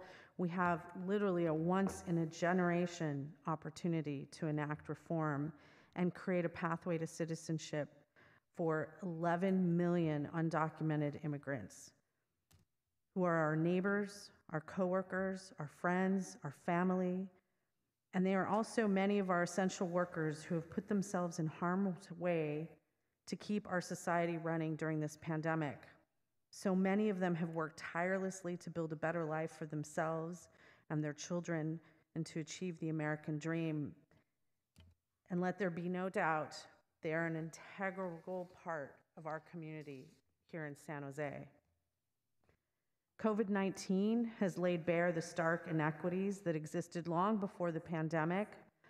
And of course, we know that the same five East Side zip codes that have faced the worst of the public health and economic effects of the pandemic, those are 95122, 95116, 95127, 95121, and 95111. Those are also five of our zip codes with the large, largest immigrant communities.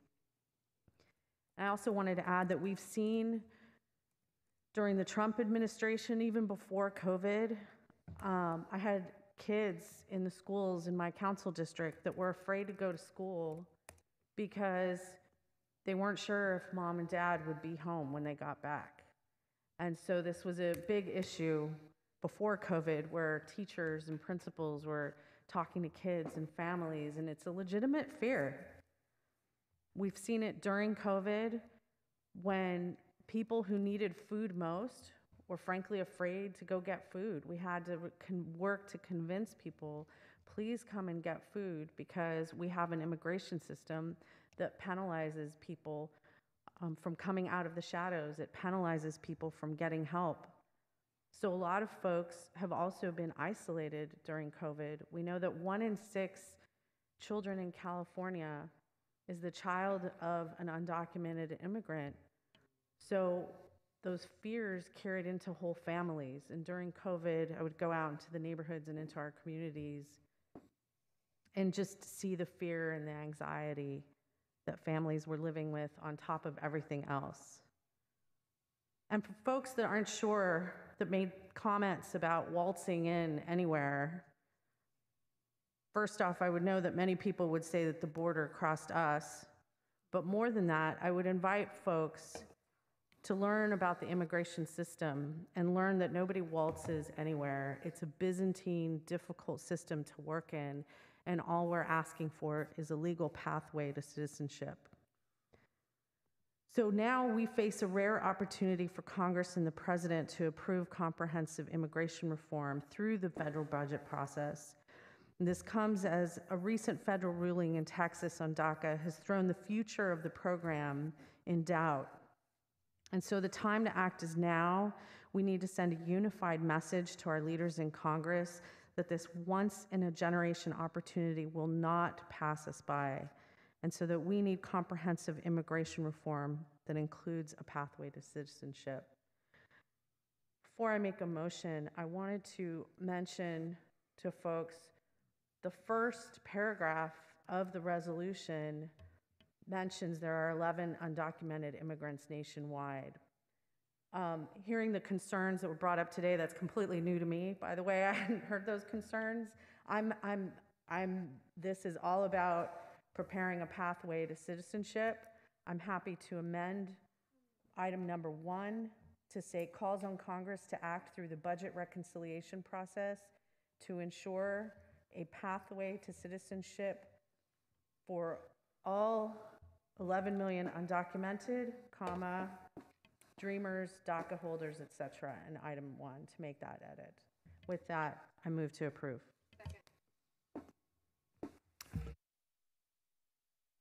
Thank you. I support the motion.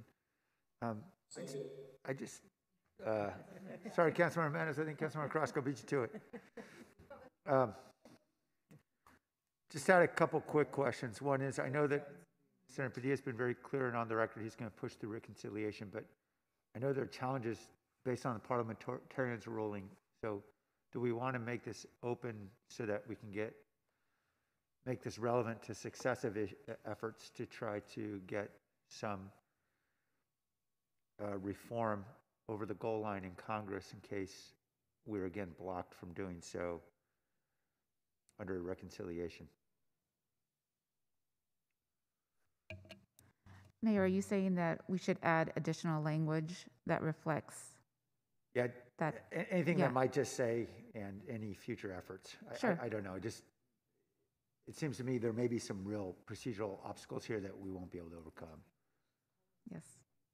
Yeah, we can add that language, and as part of the resolution. Yeah, I Sure. just suggest it, um, so that way it's, we're clear and on the record. Okay. Um, Is that all right with the maker of the motion? Yes. Okay. And the seconder? Yeah. Okay, great. And then, you know, I, I remember hearing the number, you know, when referring to the number of our neighbors who are undocumented here in San Jose, I remember hearing the number 80,000 uh, mentioned in the past. Um, And I'm trying to understand why we're at 25,000 now, because I, I thought 25,000 might reflect the number of folks who might be eligible under DACA, but I thought there was a much larger number of our neighbors who might be, who might be undocumented. The over 80,000 number is those that are eligible to become citizens, they're legal permanent residents. So, Over 80,000 legal permanent residents that are eligible to become citizens. And so part of the citizenship efforts, we're trying to get them to move into that path. okay, I thought we That's actually had number. many more San Jose residents who are actually not citizens than just 80,000. So I guess maybe I'm under a misunderstanding, because I'm pretty certain that the city has put out information. Saying that we have uh, 80,000 undocumented neighbors in our city, and you're saying that's not, that's not the No, number? It's over 83,000 legal permanent residents, as far as I know. That's where that number comes from. Okay. Um, The undocumented has shifted over the last several years. It's really difficult to identify, pin that number. Right. But Chris, I don't know if you have the latest numbers, but we've been working with foundations to try to get a more accurate Yeah. number. I, I- I'll just add that I think one of the the um, sort of malleable areas is that oftentimes the number is is shifts based on whether we're referring to how many are in the cities specifically, how many are in Santa Clara County, how many are in the San Jose metropolitan area, Right. and I think that's where it gets a little bit squishy sometimes because I know we've tried to nail Okay. down that number specifically so that we can reflect the the appropriate numbers. So that So- might be where some of that. So our best estimate is 25,000. Okay, that's helpful. Uh, Thank you very much. Any other comments? Okay, let's vote. Jimenez,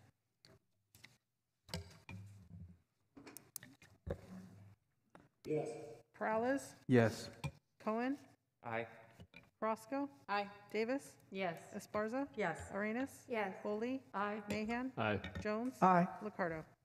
All right. Thank you. All right, item 5.1, finally, are actions related to temporary financial relief and the amendments to the agreements for the tenants at Mineta International. John, thank you for your patience. Um, And there is no presentation. Uh, Let's go first to members of the public, if they'd like to speak. Um, I have Elmer Juco and Sarah McDermott who are present. Please come to the microphone in no particular order. So whoever's first, just come straight to the microphone. I currently have one hand up on Zoom. If you want to speak on this item, 5.1 related to airport tenants, please raise your hand at this time. Go ahead. Uh, Good afternoon. Uh, My name is Elmer Huka. I am a cook at the San Jose Airport. I have worked at the airport for eight years now, and I am proud to be a member of Local 19. I'm here to speak in support of the memo from Council Member Esparza and Council Member Cohen and Council Member Jimenez. Thank you for making sure airport workers are being heard and for evaluating equity issues at the airport. We take pride in being the first people to greet visitors to our city and providing a great guest experience. It's been a long road to recovery for the airport and for us. So thank you again for making sure we are part of the recovery process. On behalf of my fellow airport workers, we look forward to being part of this ongoing conversation. Thank you. Thank you. Thank you.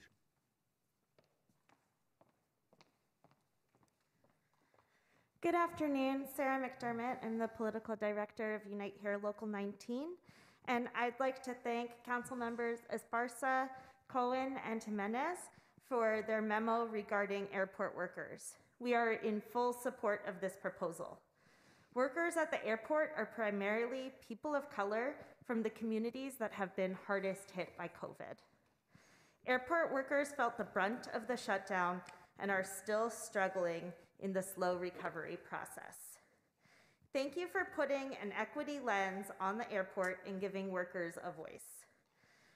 We look forward to our members and, uh, and other organizations that work, represent workers at the airport being uh, able to be part of this ongoing conversation.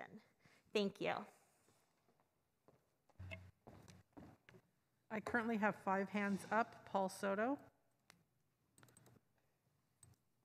Yes, also from a person that was really difficult to listen to. The dehumanization that I don't think anybody does intentionally, but the dehumanization of hearing from a Caucasian speak and say that, well, you know, the we have at the airport people that work there that, and most of them, there's a lot of them that are people of color. And so what we're going to do now, thereafter, once that say that, how wonderful these systems are because they help these people of color. I'm not a person of color, I'm a Chicano. And, and the city is, is creating this normalization of dehumanization with respect to talking about issues that are class and race based.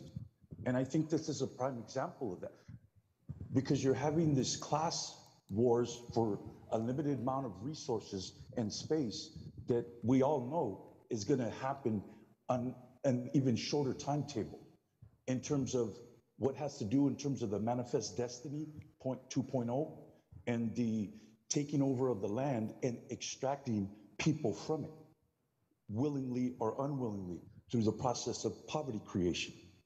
Because that's going to squeeze the person because they can't serve their survival instincts any longer under a context that was created by every single one of these towers in District 3.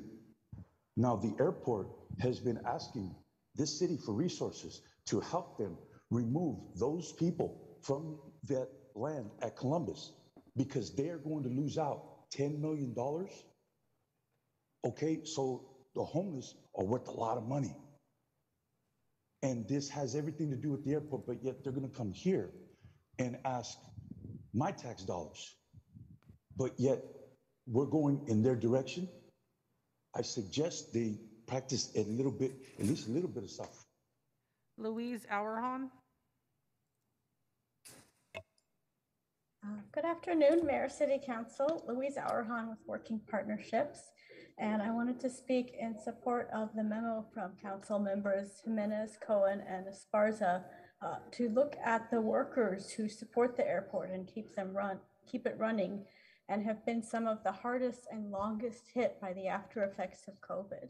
Uh, we have looked at all of the industries and occupations within Santa Clara County, and hospitality and tourism is the one where the working people have still not been able to recover and are suffering the most and in many cases have been excluded from much of the assistance that's available to businesses large and small but is not available to working people. Uh, so as we work towards actually get supporting our airport and getting it up and running again, I urge you to move forward with this memo and look at how can we make sure that as we bring bring our airport back, that we're also bringing back the people who worked there and built it and kept it running for so many years and want to keep our community running. Thank you very much. Blair Beekman. Hi, thank you. Uh, thank you very much for those uh, previous words and uh, public comment. Um, I wanted to try to quickly offer that uh, to speak on, to, on a few consumer issues. The consumer uh, ALPR data collection program uh, within the city airport area, I think has been a very good one. You know, their data collection used to be at a year, and I think they're bringing it down to six months that they hold on to data uh, from they collect from from ALPRs. I think it could be a good example for uh, you know downtown parking issues and just overall you know issues for San Jose. And it just really addresses the concepts of uh, open democracy and uh, good practices and civil rights and civil protections that invites everyone to participate and, and try to uh, better themselves with. And I think that's really needed right now in our lives and can really help the uh, current AI questions that's going on in San Jose and, and in Bay Area cities uh, throughout the Bay Area at this time. And uh, it's just a real positive way to talk about our sustainability and our hopes and our good ideals and so I just thought I'd mention it this time, and uh, thanks for the item. Tessa Woodmansee.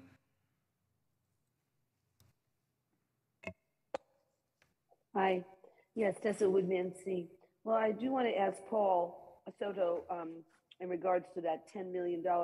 And I've been trying to find out the real history of what happened with the um, homeless at, at um, Columbus Park, because I know that it's sort of been um, taken out of the news what the real history is, and it is about the money that the city of San Jose could get to expand the airport is what's threatened. And and so you know there's a lot of issues there, but the you know and, you know I guess it's a big issue. You know it's that it's the fact that we're having to move people in a place that's actually very hospitable to people. People have really created community there, and it's you know where our you know our civilization has started by the rivers and you know we should be providing um, that should become a you know a, an eco village. It could become an eco village. There's I mean, but I guess you know there's contracts that we got rid of everybody from that area. You know, my neighbors have fought the the airport coming to that area because of what happened. That we moved a whole community. That was a Columbus Park was a neighborhood, and we got rid of those people. Uh, and I guess we gave them some little token of money, but you know, and and you know, we lost that neighborhood. And so, you know, for the airport, and this is where we have, you know, um, you know, capitalism has exploited people and nature for profit. And, and when we look at what's happened, you know, what the, the people that are suffering are the, you know, the business, we shouldn't be subsidizing businesses. These businesses didn't make it. The airport didn't make it. The restaurants didn't make it. Well, then they should go away because we need to think about a new way of, of living and it most is based on universal basic income so we can be healthy and try to move towards self-sufficiency that's what we need to have that universal basic income so we don't have to sell our soul get sick from covid jose pavon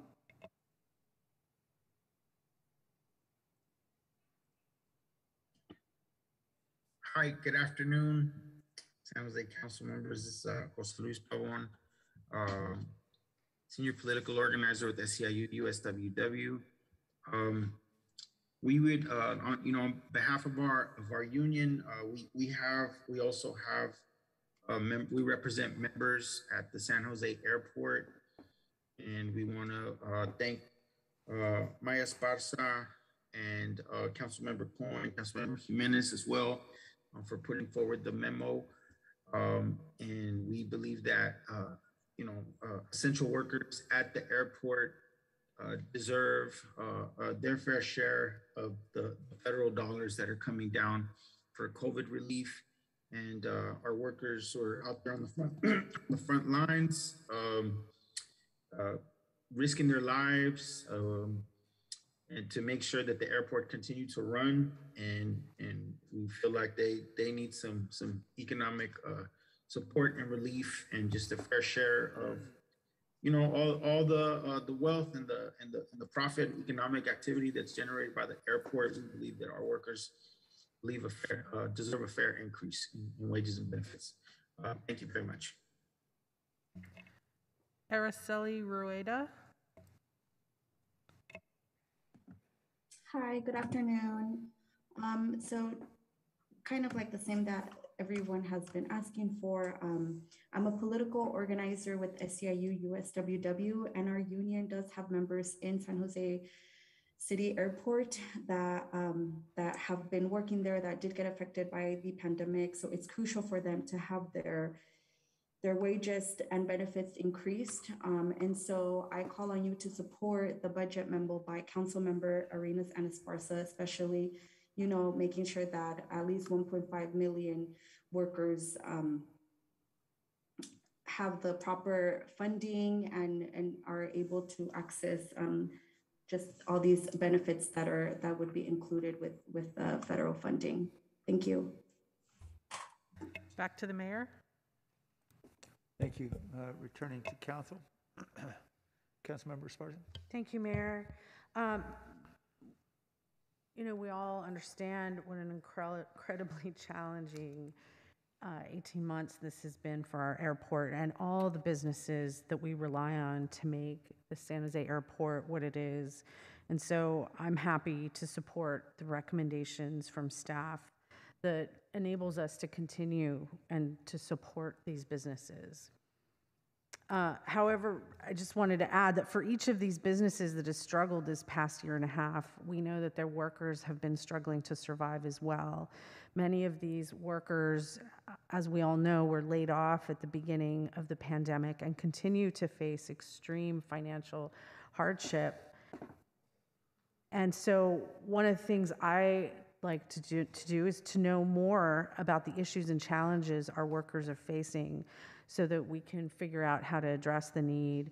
Many of the airport workers and hospitality workers live in San Jose. Many of them live in District 3 and District 5 and District 7, especially.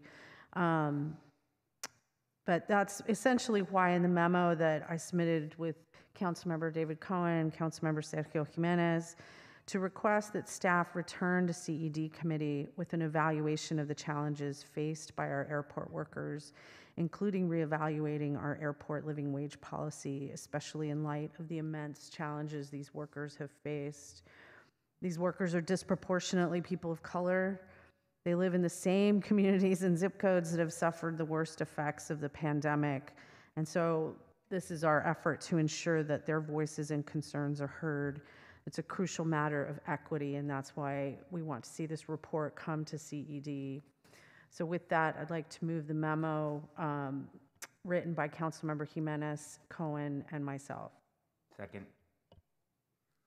All right, motion second. Um, John, sorry to drag you down here, but while you're coming down, let me just say a big thank you. I know you're making some very, very tough decisions in your leadership in this time uh, at the airport, and I appreciate your continued leadership. I wanted to just ask about the issue of living wage versus what I understand many employees who are working on the premises to be actually under union contract. So you just sort of, just so that we in the public are all clear, sort of which which employees are subject to collective bargaining agreement and which will be subject to living wage requirements? Thank you, Mayor. Uh, John Aitken, Director of Aviation. Um, the concession employees for the food and beverage and the retail stores, the vast majority of them are uh, union employees that have a collective bargaining agreement. So airport living wage doesn't affect them. And uh, within those groups, um, everyone that was laid off at the beginning of the COVID pandemic was put on a list for rehire. They've gone through the list twice and all of those people have refused the job twice. We're currently short 45 employees just to get our concessions to open up from 4 in the morning, you know, until 10, 11 o'clock at night. the concessionaires are actually offering two to three dollars an hour more than is required by the union agreement to try and entice people to work. And additionally, they're giving them uh, sign-on bonuses and retention bonuses to try and keep the staff there. That's part of the reason for the additional cost of them, you know, operating their business is they're doing more to try and get the people to work there. Airport living wage in general will take care of the underwing providers, the people that throw the bags for the airlines and do those kind of tasks. Um, are contract employees that are normally covered by living wage. So that's kind of the, the split at the airport. Thank you for clarifying that. Uh, Thank you. All right, any qu- other questions? All right, let's vote on the motion. Jimenez, Yes. Peralez, Yes. Cohen, Aye. Roscoe, Davis, Yes. Esparza, Yes. Arenas, Yes. Foley, Aye. Mahan, Aye. Jones, Aye. Liccardo. Aye. Thank you. All right, on to public forum. Open forum. I have no cards in person. Um, I have Blair Beekman, followed by Gail Osmer.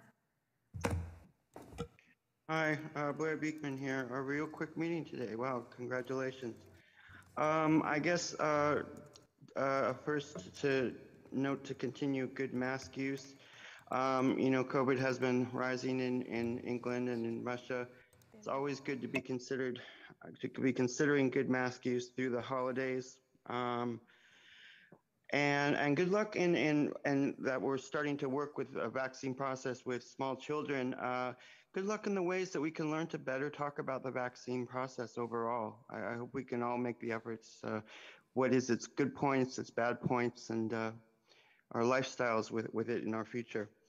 Um, with a minute 30, um, I guess uh, from uh, our exchange earlier today, uh, the, the mayor doesn't necessarily pay, play favorites.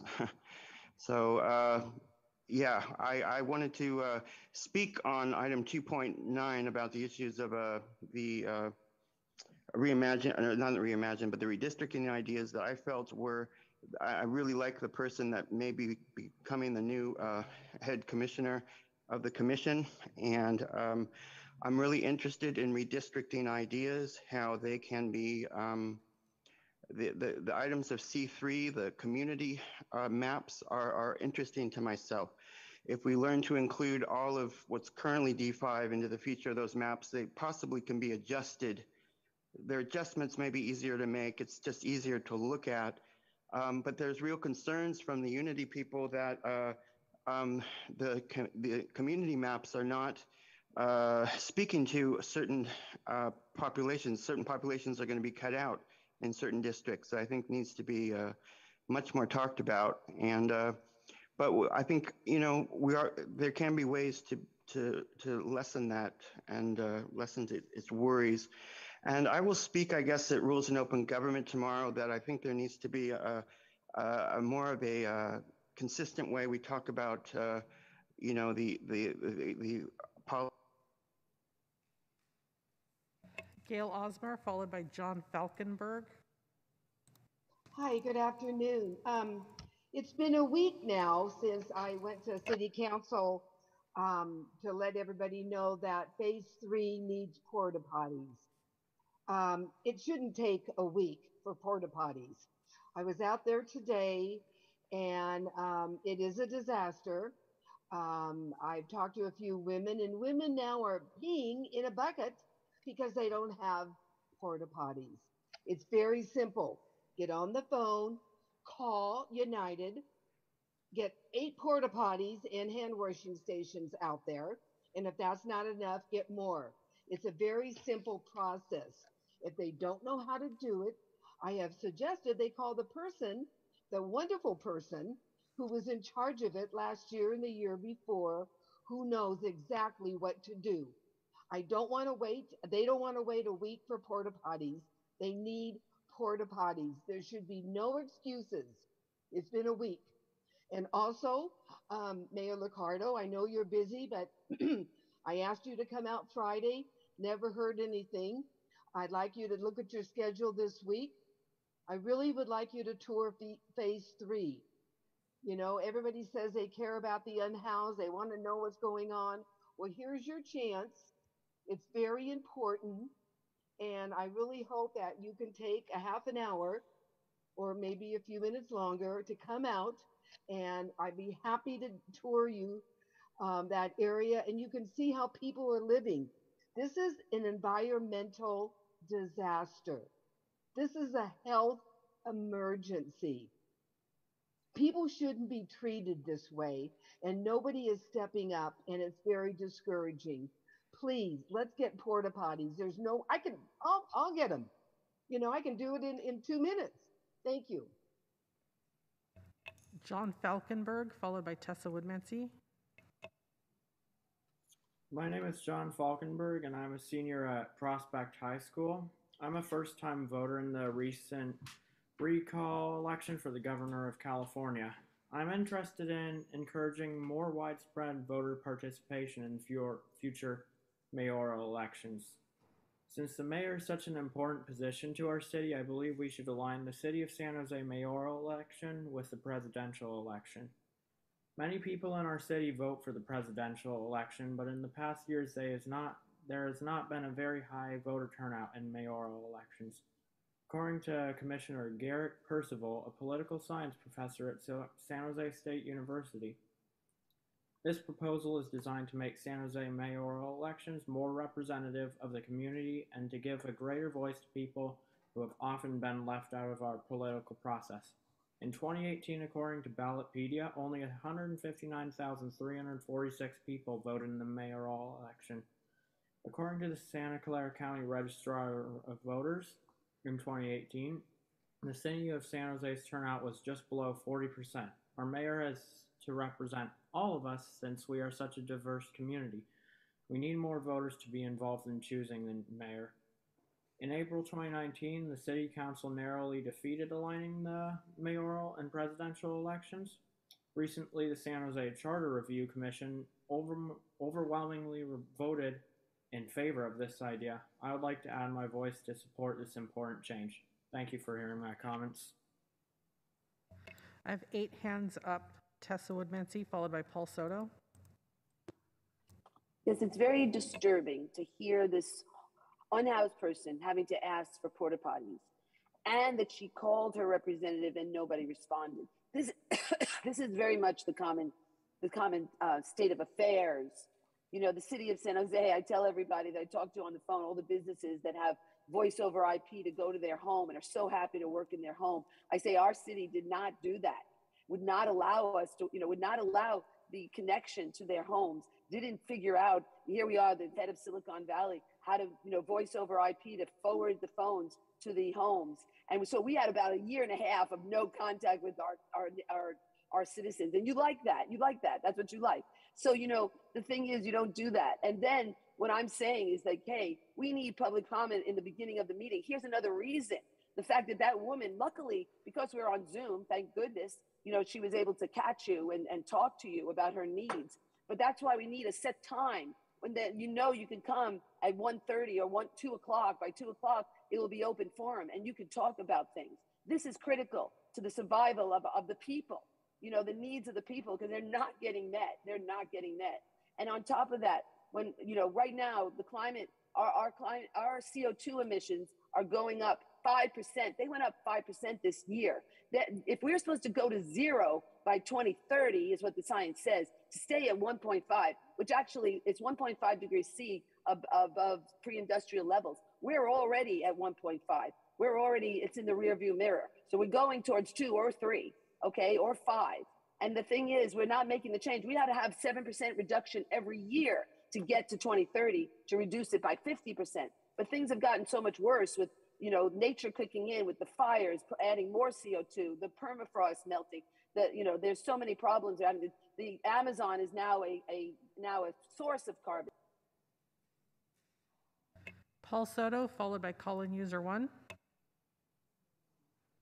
Uh, yes, Paul Soto from the Horseshoe. Um, when I'm going through the, the allocation of funding and the logic and reasoning behind all the different policies, what I noticed is the order, word order. If you look at the if you look at the document, you'll look at uh, child need for support, and then you'll go down and say public spaces, you know, public safety, and then it there the associations and the word associations and work proximities of poverty, low income uh, people, uh, uh, pe- persons of color. Um, let me see, uh, people in need, limited means, and the word association between those and words like danger, uh, need for safety, public safety, uh, police officers, SJPD, you you know what's what's being done to you.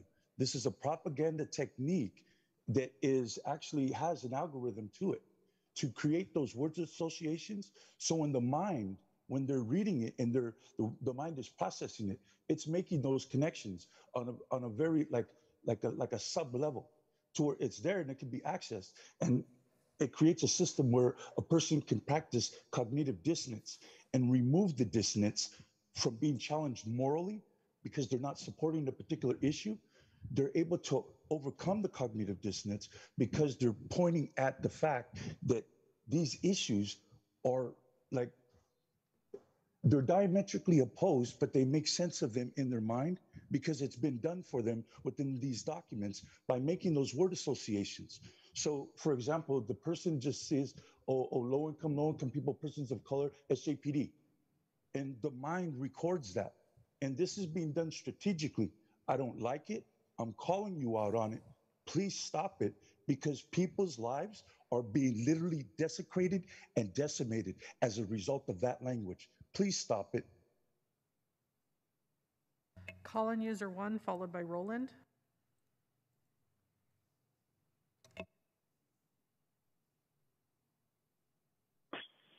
Yeah, this uh, picking up the phone. This is a San Jose phenomenon. You know, you, you cannot call the police department for anything that's like non-emergency related. Even if you call 911, they put you on hold. But th- you know, the city council people, you guys don't pick up your phone. Uh, sometimes uh, people get back to me from Pam Foley's office. Uh, good on Scott Scott Hughes down there. He at least has the stones to talk to me. Most, but uh, other city council people forget it. San Jose PD the worst. You cannot go down and call every single number. I did it the other day.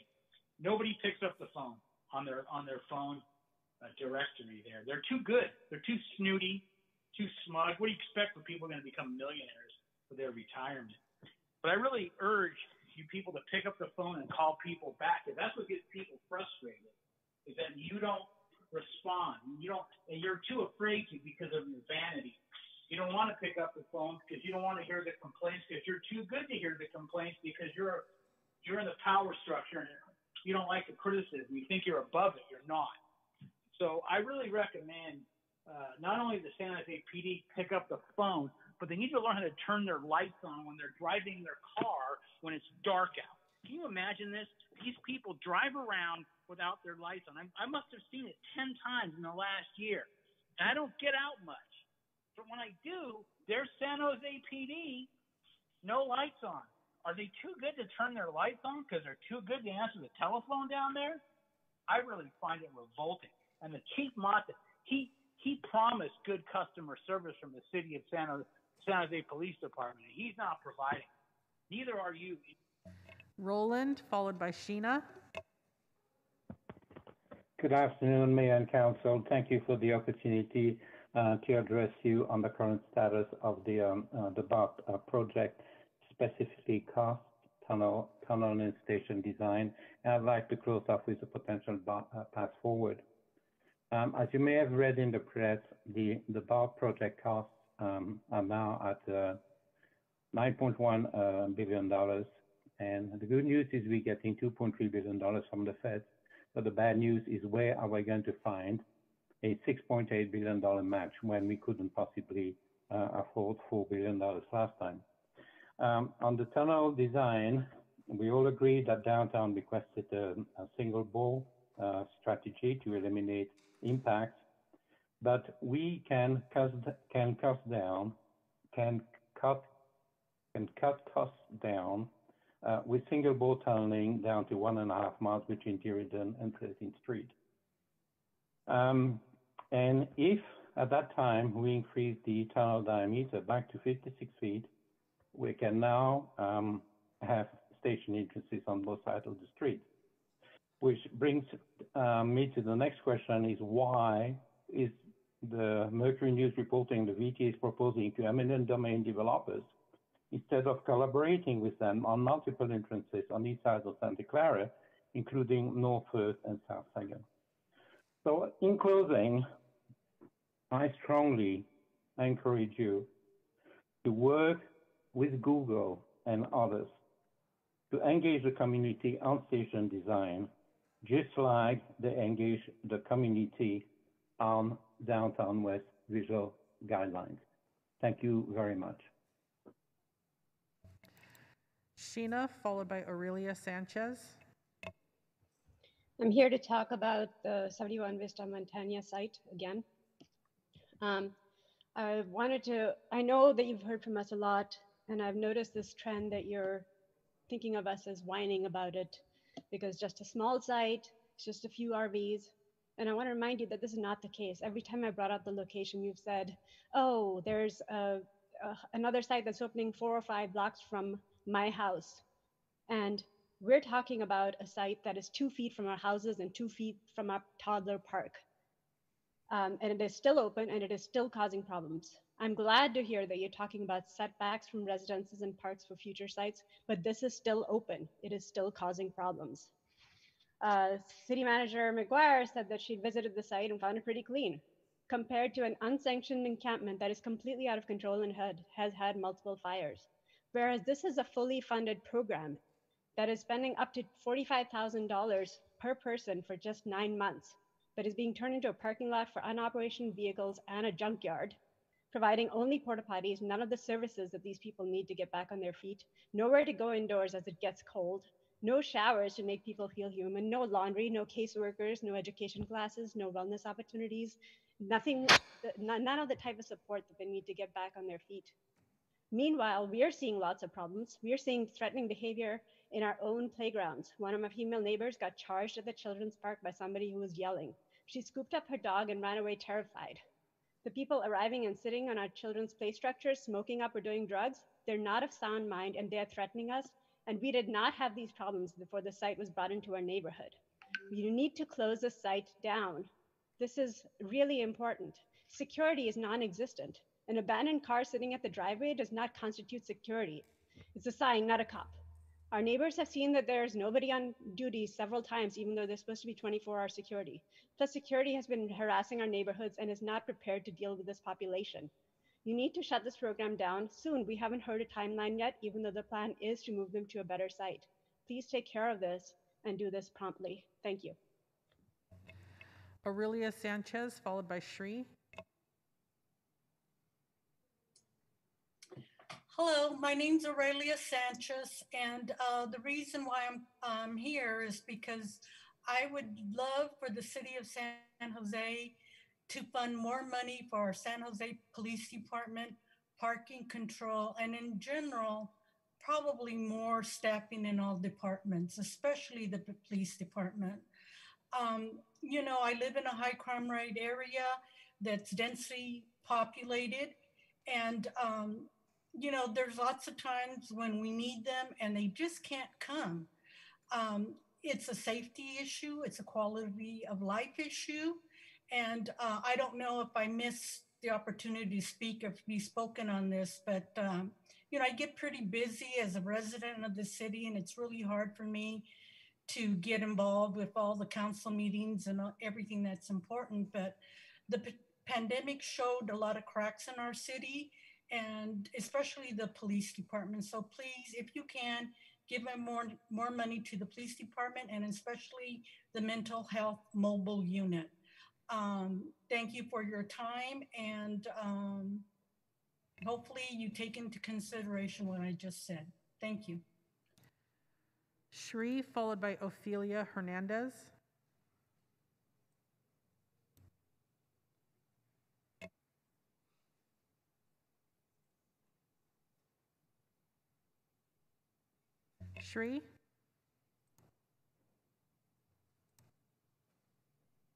Okay, I'm going to move on to Ophelia Hernandez.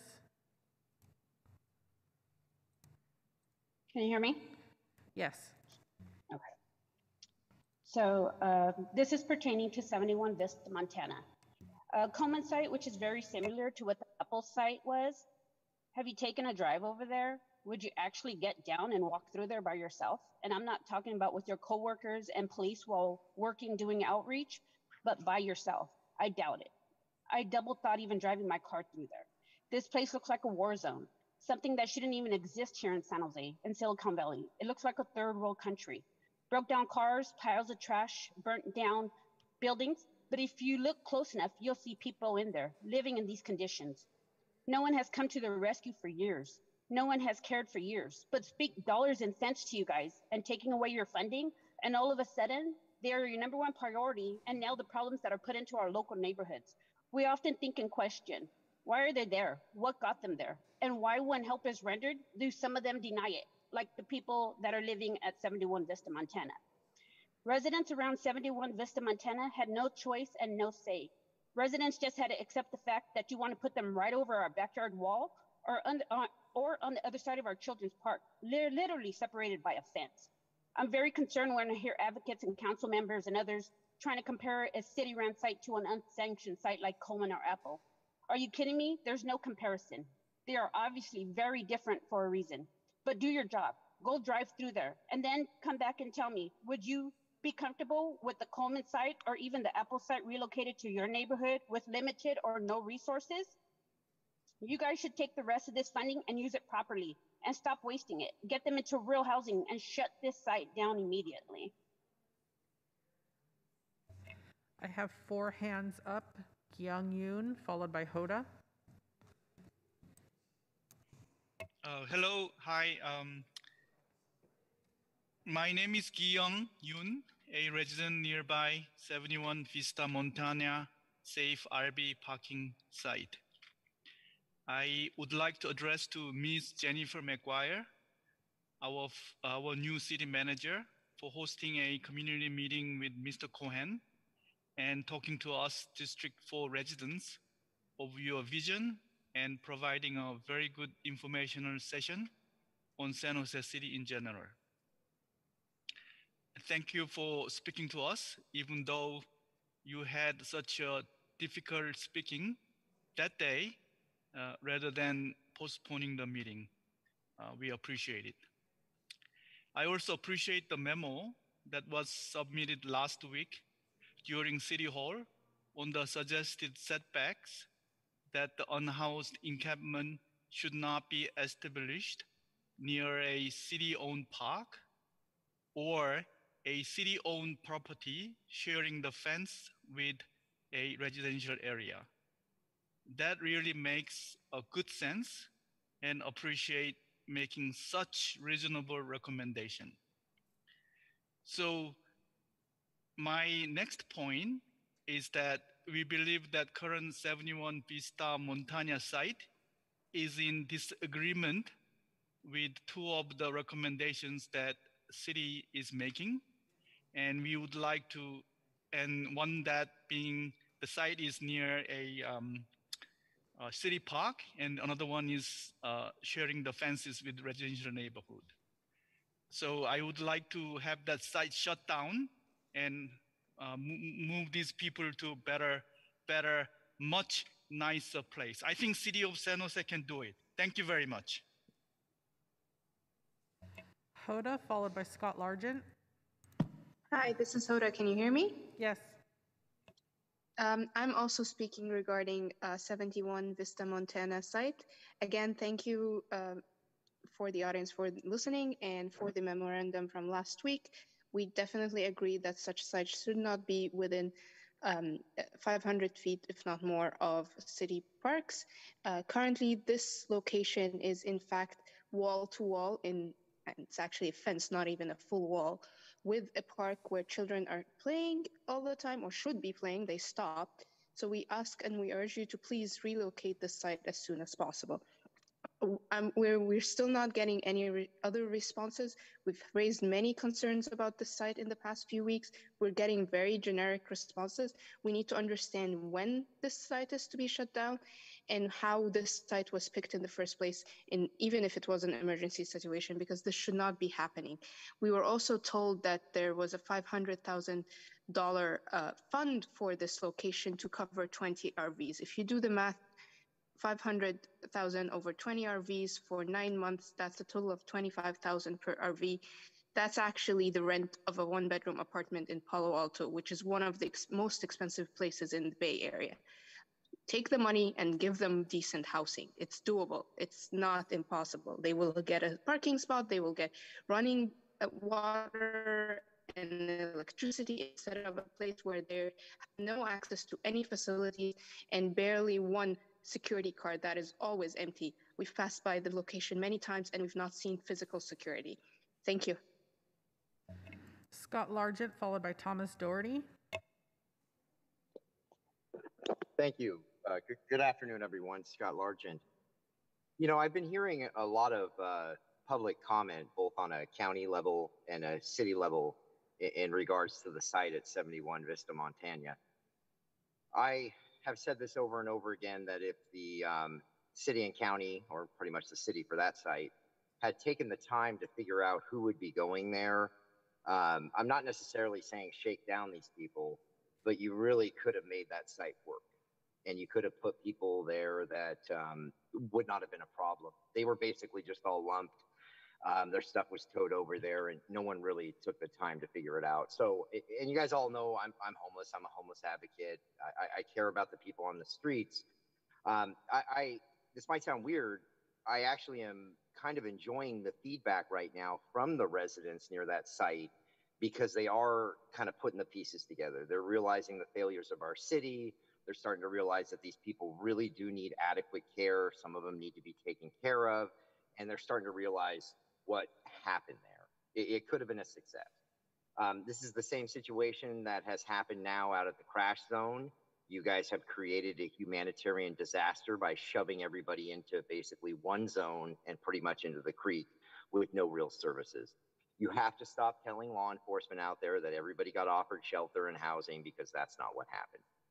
And some of these other people that are getting on the calls, I would really love for them to start paying attention also to what's going on out there um, at the crash zone because this is citywide. And each one of these new endeavors you guys kind of dive into is a failure and it does crash and burn. And I, am just surprised you guys haven't taken the time to figure out who's out there, the good, the bad, and the ugly, and kind of make it easier for the uh, the other residents in our city. I, I don't blame them getting on here and being extremely frustrated. So thank you.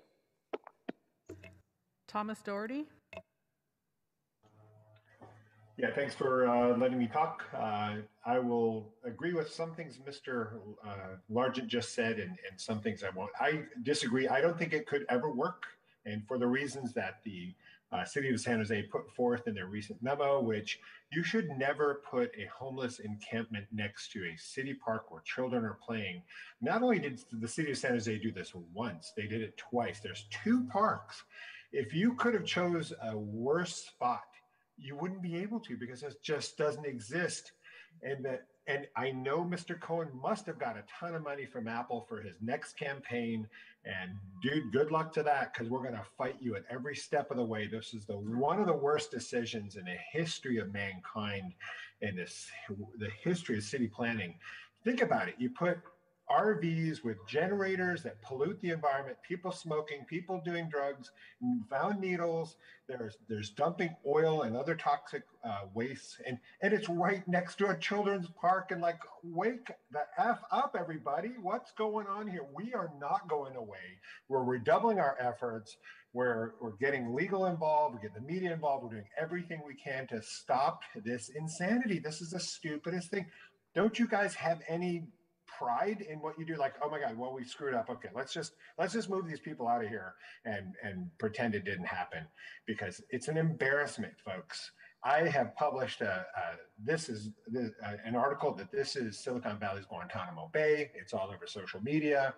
The, the city of san jose being the quote unquote capital of silicon valley should know better than to put this monstrosity next to children's parks and, and all of the things that go along with that. And it's worse worse than that, it's a disservice to the people who are there who are trapped in this razor wire enclosure Uh, thank you, City of San Jose. Fix it. Michelle Kalish. Hi, my name is Michelle Kalish. I'm a, s- um, a resident of District 3. On the subject of parks and, and homeless encampments, um, it's been very frustrating. I'm in District 3. I live between two major parks, Roosevelt and Olinder. Olinder is near a school. Roosevelt is a park and a community center. Both of them are, are homeless camps, and they've been that way for years. Um, the, the area around that seems to just be a, a freeway between the two parks. I get very frustrated on the subject of parks when the city comes to me and wants my input on a new park. Yeah, it seems like every new park just becomes a homeless encampment. I don't understand why we're sending spending money on new parks when we can't maintain the parks that we already have. And I understand we're trying to build new neighborhoods and all that. Second thing is um, the issue of the, the the Google new village that's coming through. Have we decided as a city that we're just going to abandon the current downtown area along Santa Clara Street where the current city hall is? The building seems to be empty. Uh, there's a lot of businesses that are failing. City Hall could be supporting a lot of those small businesses if they bring their people back to work um, in the in the facility itself.